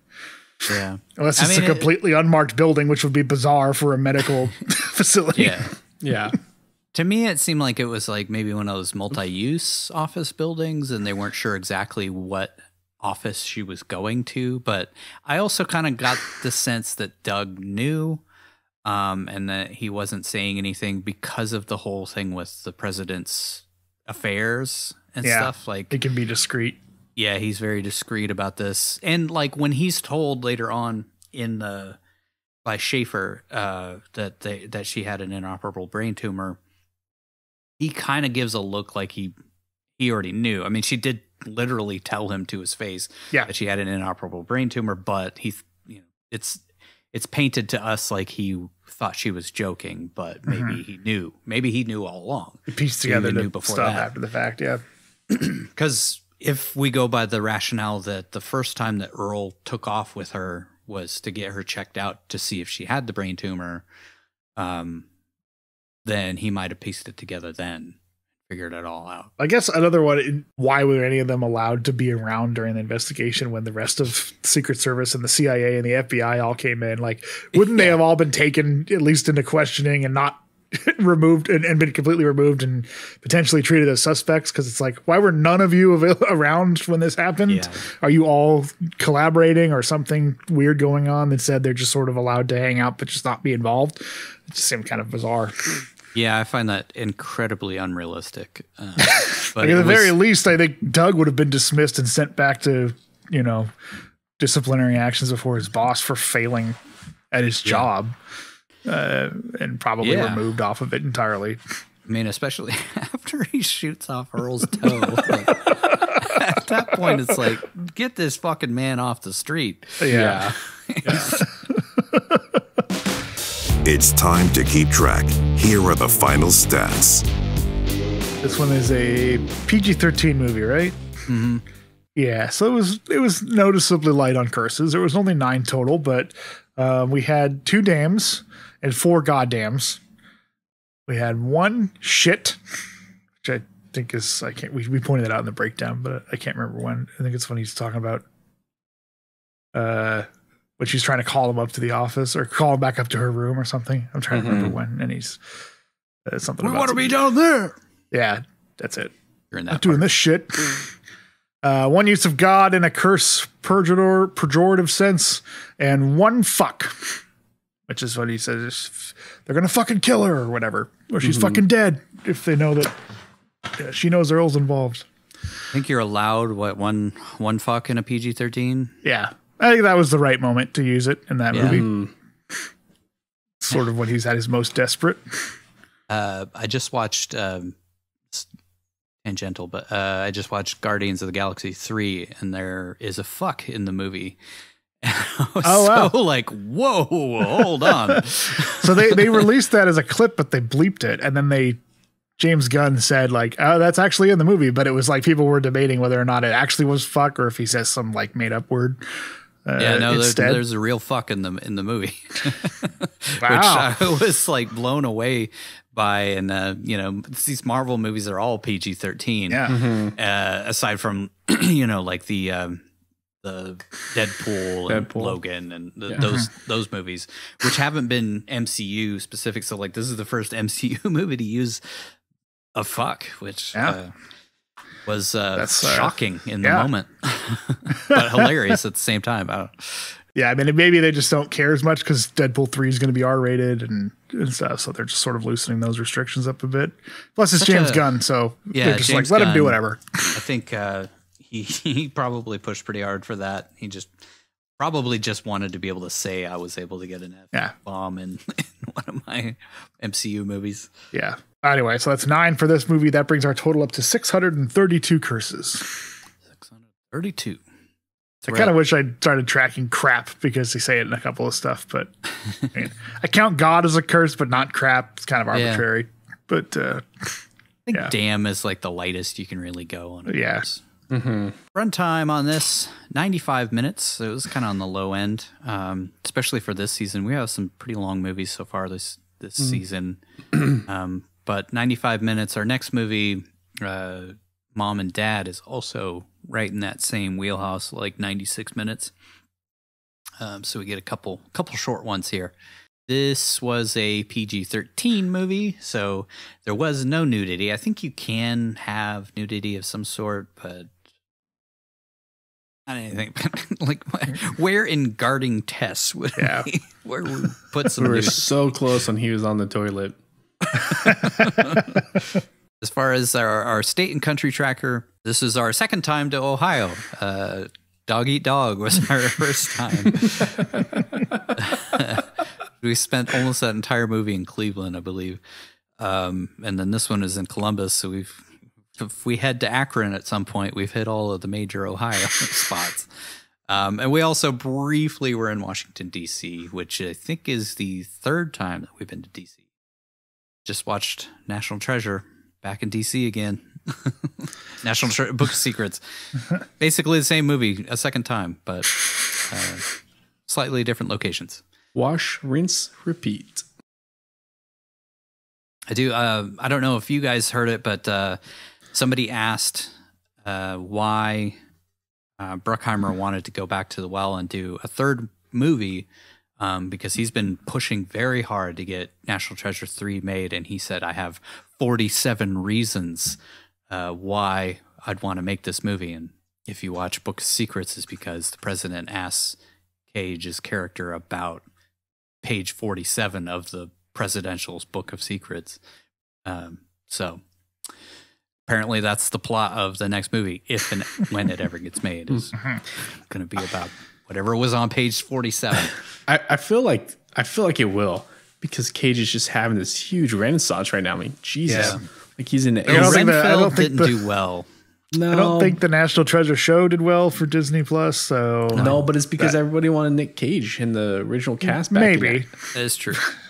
So Um, I know I that's saw what a lot I've of complaints read about was it, like yeah. everybody was like, why, like, why would you even make this piece of crap Yeah. without Nick Cage? So, Yeah, Um, from what I heard, the show isn't bad. It's just everybody was like, "Why would you not include Nick Cage Right, with this? right. Mm-hmm. That's why we that's like why this." they. Yes, exactly. That's the way they love it. But I mean, I, I just feel like people are gonna want to push and try to capitalize on his popularity right now. But Renfield's not a movie that's gonna do well in theaters. That's gonna be something that does well on VOD. Um, Yeah. I mean, if you really look at a lot of the movies that have been coming out, unless you're a kids movie or a Marvel movie, you're not Exactly. You're not crushing the box office anymore. I mean, that's something to be said about putting out a National Treasure movie right now. Is that a National Treasure movie would do very Oh well? my God, yeah. office. Which Book of Secrets is not a great movie, but it made over four hundred million dollars. Uh, it made a ton of freaking money, and it's still adored to this day. Yeah, So, and I- you know, I, I I really would actually love to see distinguished older Ben Gates. I think it would be Mhm. really interesting to see. Um, I don't know. Just just tell Riley to shut the fuck up. Well, Riley's So- clearly dead. He made some bad crypto deals and some NFT deals went south, and he's dead. So I mean, he's in uh, the TV series, so yeah, yeah, yeah, yeah. But that's pre-crypto. now we just have Darcy from the MCU replace him. yeah, just just swap those two out. Nobody would even notice. Uh, budget versus gross on this movie: twenty million dollar budget, which is a lot for 1994 for a pretty simple story, pretty self-contained little like almost the entire movie takes place at that little farmhouse, or, Mhm. you know, her Carlisle house. Um, I'm not really sure why it cost that much. It probably yeah, Cage and Shirley MacLaine. Yeah. Mm-hmm. Got to imagine they got paid pretty well for this. Mhm.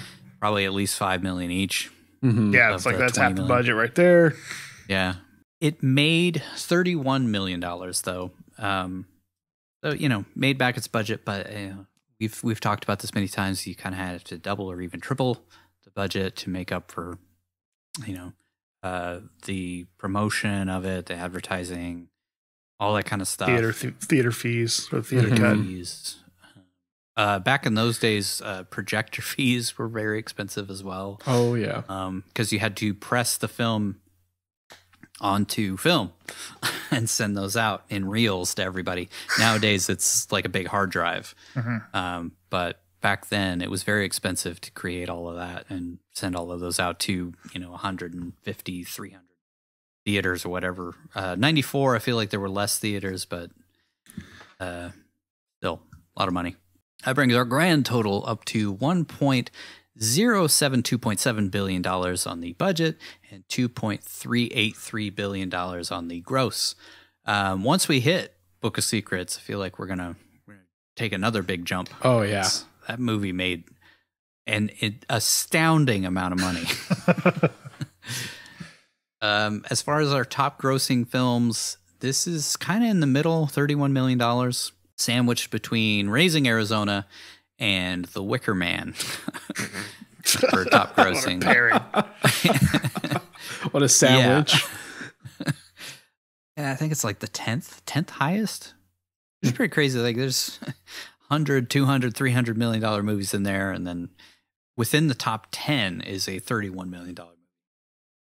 Speaks to Cage's kind of range of movies that he's done as far as like indie and big budget blockbuster movies all over the map.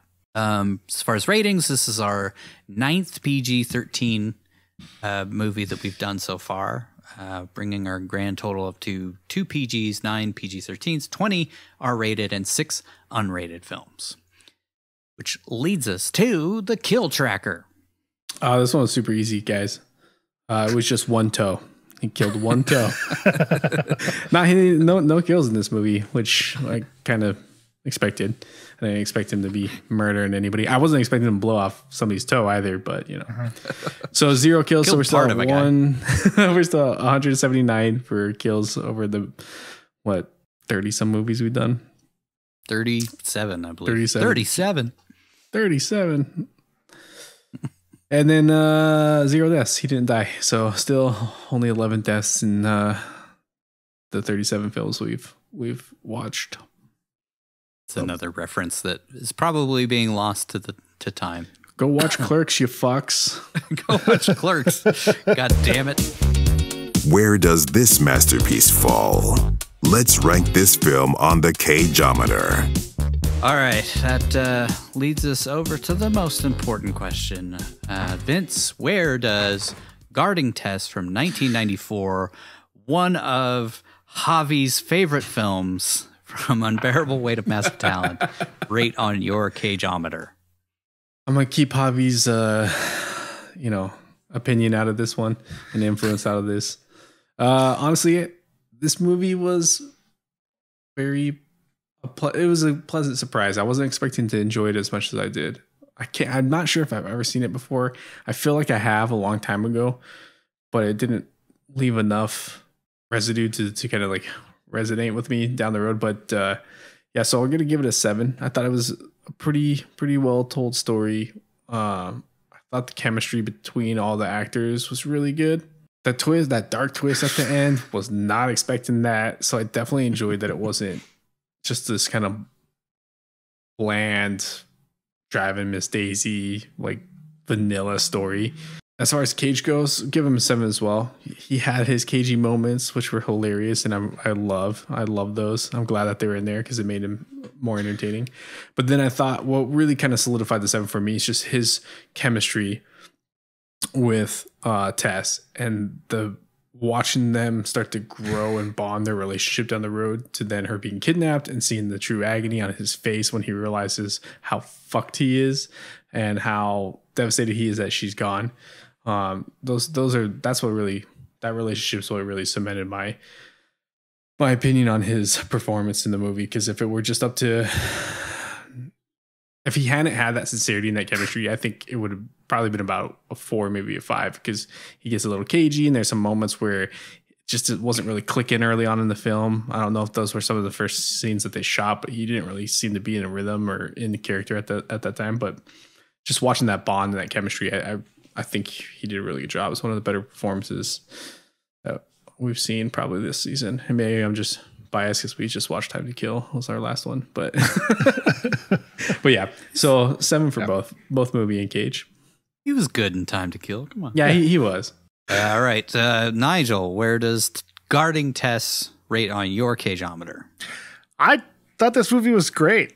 I, I feel like a lot of the critical response when it came out is a little harsh, and the audience response too. I don't really understand um, where that mixed review status comes from. I mean, it's it's not horrible, but it's like 50% of the people who review it seem to at least 50% say yeah they don't like it which i kind of found weird. I don't know what, what it is. It's not it's not a movie that i would choose to watch um, if it weren't for this show but i was very pleasantly surprised by it. I think this is one of those um, hidden gems that we come across doing this Mhm. show. And it may just be because i'm jaded with movies this season like stolen and arsenal and some real shitty performances we've seen in the last few episodes but i thought this one was an 8 out of 10 um i, I debated giving it a 9 but Wow. uh I, yeah like i i just i felt like it worked i felt like the movie was was really solid I'll, uh, I'll give it. I, I kind of backed it down a little bit as we were discussing it because of the inconsistencies with the end. Like it's a little unrealistic that he would go off on the deep end and shoot this guy and then have no repercussions from it and stuff. But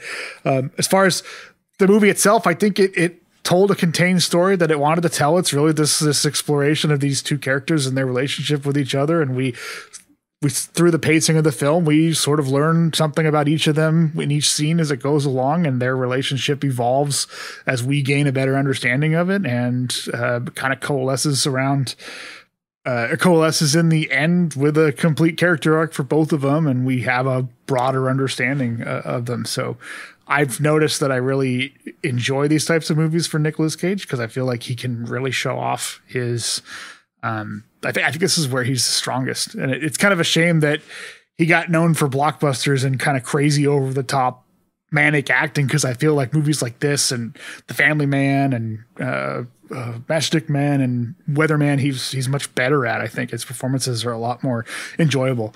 Um, so I gave him an eight as well uh, for this. Uh, again, I almost gave him a nine for it, but uh, I feel like there was just a couple of moments where he wasn't quite fitting. Um, like Vince You said, want to be down there? yeah, it was. It was just like Yeah. it's that classic caginess, but it felt a little bit uh, out of character for it. But in general, I think he- does a really good job of um, conveying all of the emotions that this character feels as you're watching it. You can you can look at any scene that he's in and pinpoint what he's feeling and what he's going through, and and it feels like a realistic portrayal uh, of this character, Doug, um, and his relationship of, with Tess. Uh, and again, I think that that chemistry he had with Shirley uh, MacLaine comes through uh, on screen, and I think that really lends to the success of the movie and why it works uh, as as well as it does. And uh, yeah, I, I was I really enjoyed it. Um, I also, I in general, I just wanted to point out I liked the dark twist that it took. It kind of felt like it was steering you down, you know, this typical oh she's got brain cancer and she's gonna die of a tumor and where it's going to be sad and a tearjerker, but then it veered off in the other direction. And um, those threads were there as the movie went along, you know, with, with the way that she runs off with Earl and how Doug doesn't trust Earl. And, um, you know, she doesn't believe that the security detail is necessary, but he does, but maybe he, you know, he could slack off a little bit because maybe she's got a point. Um, and we turned out, no, he was right all along, and he's sort of been right this whole time, and he's a very skilled um, agent at what he does. So I felt like a twist was there. It's just if you weren't looking for it, you wouldn't have noticed it, which I think is a really good twist to a film. Um, Yeah. And I don't think it was too bombastic of an ending. It, it's kind of. I mean, it's a little bit over the top. And with we said there's like 500 people descending on the barn, and it's just. But even then, it's not like a big over the top action scene. It's just uh just to show this response of like how how How much the story has veered from this small character driven thing to like she's been kidnapped and there's a full on response to get it or to, to get her back and rescue her and stuff. And it feels sort of out of the element that maybe Doug feels like too, being stuck in this small town for three years or whatever it's been. Um, So yeah, I mean, he wanted that type of life and he got it toward the end. He wanted that kind of response. So yeah, um, I'm kind of disappointed that this wasn't more popular. I I have honestly never heard of it except until we watched uh, Unbearable Weight, and it was mentioned in there, and a couple of scenes were shown in it. So this one has sort of flown under the radar. I don't know if that's just at the time. This was like you said, this was a tail end of a bunch of movies that did this, and it was sort of cliche at the time. So maybe that res- explains some of the response. And I haven't seen driving Miss Daisy or or the Bodyguard and stuff. Although Amazon recommended both of those once this movie wrapped up.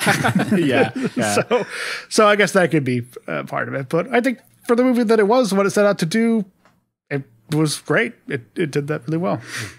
I'd say um, you, you wouldn't expect this from me, but I fucking love Driving Miss Daisy. I think it's a genius movie, uh, really well done, and like it's it's definitely worth a watch if you haven't seen it. So I would I would highly recommend it. Right. Has um, echoes of like I don't know. It just it's one of those movies that's like it's sad, um, but it's really enjoyable at the same time. I don't know. it's one of those movies that if it's on, I will watch it. Like if Mm-hmm. Shawshank Redemption is on, I will watch it every single time.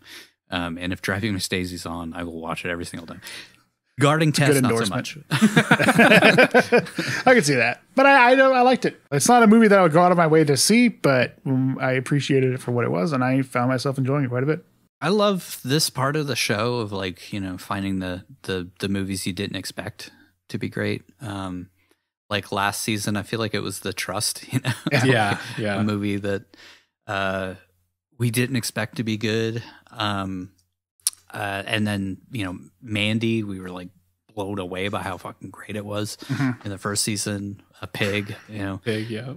Um, I was like, I have seen this movie, and I think maybe my uh my feelings skewed it, you know, just because I'd seen it quite a few times, like when it first came out. I think it was, like I said, it was one of those movies that was just on a lot. I like, I can't be quite as generous, but I do think it's a great self-contained small story. Um, the tonal shift at the end uh, is just kind of like whiplash a little bit. Um, I like that it it took you in a place you weren't expecting, um, but I do feel like it's just so unrealistic. Uh, from the point where he blows off Earl's toe, uh, like I said while we were talking about it, like if he just would have just threatened him, and that's how that scene ended, everything else would have been much more believable. But like the fact that he blew off his fucking toe in a crowded hospital with the fucking FBI guy watching on, like I just feel like Doug's everything would have come to a grind, grinding halt at that point. Like Yeah. Doug is not allowed to be anywhere near this woman ever again. like that is you just went way over the fucking line. Um, so I gave the movie a seven, um, mostly just because of that ending. I feel like everything else was really well done. It's a relatively short movie. It's only 95 minutes, so the pacing is is well done. Um, I feel like they did a great job of building up that relationship, and like you guys said, the chemistry between Shirley MacLaine and Nick Cage was great. Obviously, they really liked each other. off camera as well because they adopted a ferret and a zebra together. Um, and she like she has to have that gravitas in order Mhm. to make that character believable. And Shirley MacLaine is amazing in this. Mhm. And it's no surprise that she got a Golden Globe nomination for this. Um, she lost out to uh, Jamie Lee Curtis for True Lies, that Mm. uh, Best Actress uh, Golden Globe. It's I don't think either one of them were Oscar nominated that year, though. But um, anyways, she she's amazing in it. I feel like she is the the the real breakout performance in this. You know, Shirley MacLaine though. I Yeah. mean, she's an Oscar winner. She's I think she got five uh, Oscar nominations throughout her career. So it's not not a shock, but Mhm. yeah, without her, this movie falls apart. Um, Yeah. Yep. she is definitely the the most important piece to this whole thing. Cage's character, it's great to have that like, you know, he he's being antagonized by her constantly, and he has to like catch himself over and over and over again to not fly off the rails and i think he did a really good job of that and i think his his portrayal was believable like you can tell that he cares about her from the jump like when he Mhm. uh, first goes upstairs to tell her that he's going. You can tell that he cares about her, and he he's conflicted about leaving her behind. But at the same time, he's like, she just keeps pushing me, and I she obviously doesn't like me being around, so I want to get out of here anyway. Why does she want me back in? You know, so uh, I also gave him a seven. Um, I didn't. Uh, I, I think some of those cagey moments were a little too cagey. We want to be down there. That Yeah. thing uh, when he's screaming about just sending Earl to the office, um, uh, and then in the final couple of scenes. So I mean, he does like when he's sobbing in the in the hospital after he's done this thing to Earl. Like I felt like that was pretty fucking believable. Mhm. Like I, he he loves her so much, obviously, that he's willing to completely sacrifice basically his entire life in order to make sure that she gets found uh, before she dies because he knows that she doesn't have a, a chance of living because she knows her Mhm. kidnapper and she can identify him. Yep. So she's going to die no matter what, unless they can find out where she is immediately. Mhm. Um, which was like within the first 24 hours. Like, I think he says Yeah. 22 minutes, 30 seconds, Yeah. 30 minutes. Yeah. 22 hours, 30 minutes. That's why I wasn't so uh, against him shooting the guy in the foot. Like it felt like you had it, it really conveyed what you were supposed to get out of that, which is he's like he's willing to do anything up to and potentially killing this guy to get her Mhm. back. Like you know, Yeah. torpedoing his career, ending up in prison. All that doesn't matter. Like just It's to find out where she is. up. I feel like uh, not just the fact that he blows off his toe, but the fact that he fired a gun in a hospital. Uh, Yeah. I feel like that was the part where I was like, okay, Jesus Christ, this is a lot. Yeah, I mean, they could have potentially done the same thing if he just like missed the guy, like shot next to his foot yes, to get him to talk. something like that. But I think it was also, I mean, it- it also kind of reduced, like, I don't know. I feel like it, again, it, it they needed. I like that they showed that he was willing to shoot this guy to, to figure it out. You know, yeah, um, to get back to it. I guess it's consequences- not- and it's also again, he's th- that's not part of the regulations. That's not by the book. Yeah. and that's sort of what he's been hammering in throughout going up to this point. Is like he needs to follow things by the book and do the procedure, and he's Mm-hmm. diverted from it because it's for something he really cares about, and he's really trying to to save her life. So I don't feel like it's it's necessarily what he did to Earl. It's the fact that he's still able to be involved Yeah. in everything after that is the part that I find just very unbelievable. so I feel like, Maybe they cut some bits out. They could have explained that, like the president and the FBI guy and uh, Tess all kind of covered for him and saved it, covered it up, and saved his career from yeah, maybe going yeah, down something down like the that. tubes. Uh, You know. Gu- Bullets don't stop. Um, so it could have gone through to another room Yep. downstairs. I don't know. Anyways, I I just feel like uh, that's seven out of ten is still a pretty good score, but you know, there's so few things that that take it down just a just a touch for me. Um, overall, I felt like it was a great movie. I hadn't seen this movie in a long time. Um, I think it had probably been since the 90s that I'd seen it. Um, but I remembered liking it. I just didn't remember it being like super memorable. Um, so yeah, seven seven out of ten. I feel like is yeah, that's right score.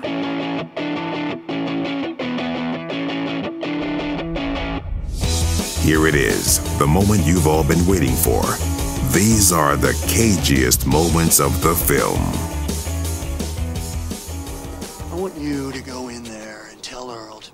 The office. Okay, Lee? All right. Thank you. Well, no more questions, but we're going to have to have you available to us, Mr. Fowler, at our convenience. All right? I'm telling you to holster your pistol. Jesus, help me. God damn it, Doug. Put that gun away. He is a driver in the employ of the Secret Service. I can't do anything about the cook and the nurse. No, they work for you. But this guy works for us, and he's gone! I'm going to count to five, and then I'm going to shoot one of your toes off. Listen, I don't know anything. Will you just get that through your... Ah! Ah! Ah! Are you crazy? Ah! Are you?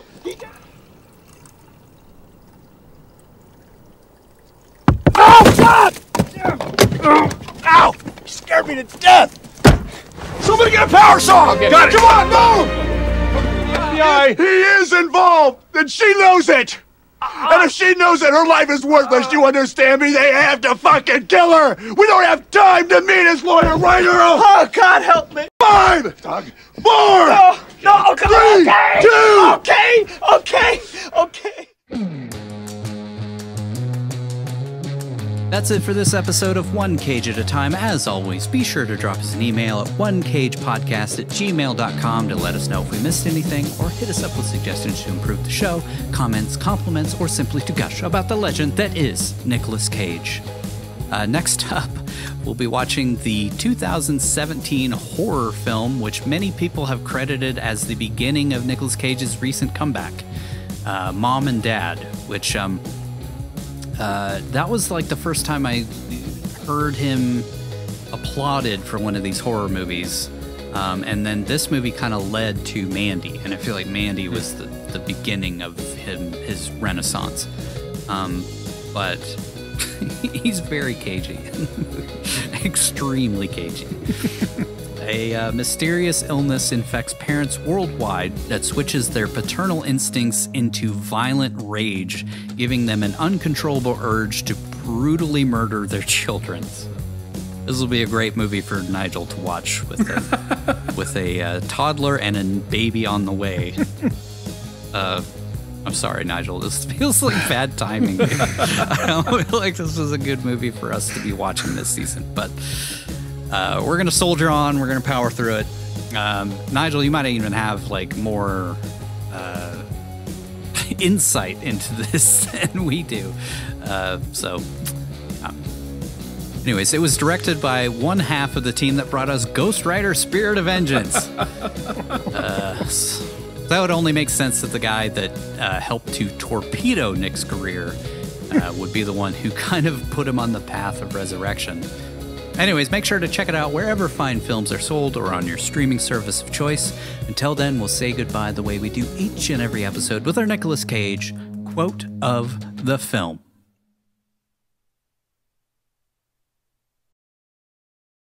Uh, is there any report where the first What lady does she is? want? Was she Chocolate? with the president Some kind of goddamn food drink or she- something? What do we look like? Waiters? Are we a bunch of waiters? We want to be down there! Thanks for listening to One Cage at a Time. Visit us online at onecageatatime.com or follow us on the social media platform of your choice for more Nicolas Cage goodness. Don't forget to like and subscribe to our YouTube channel. And if you really like the show, become a member of our Patreon where you can download unedited and ad free episodes, as well as listen to our follow up show, Back into the Cage, where we re examine each movie to discuss what we missed the first time around, answer listener questions, and wax poetic about the man, the myth, the legend that is Nicolas Cage.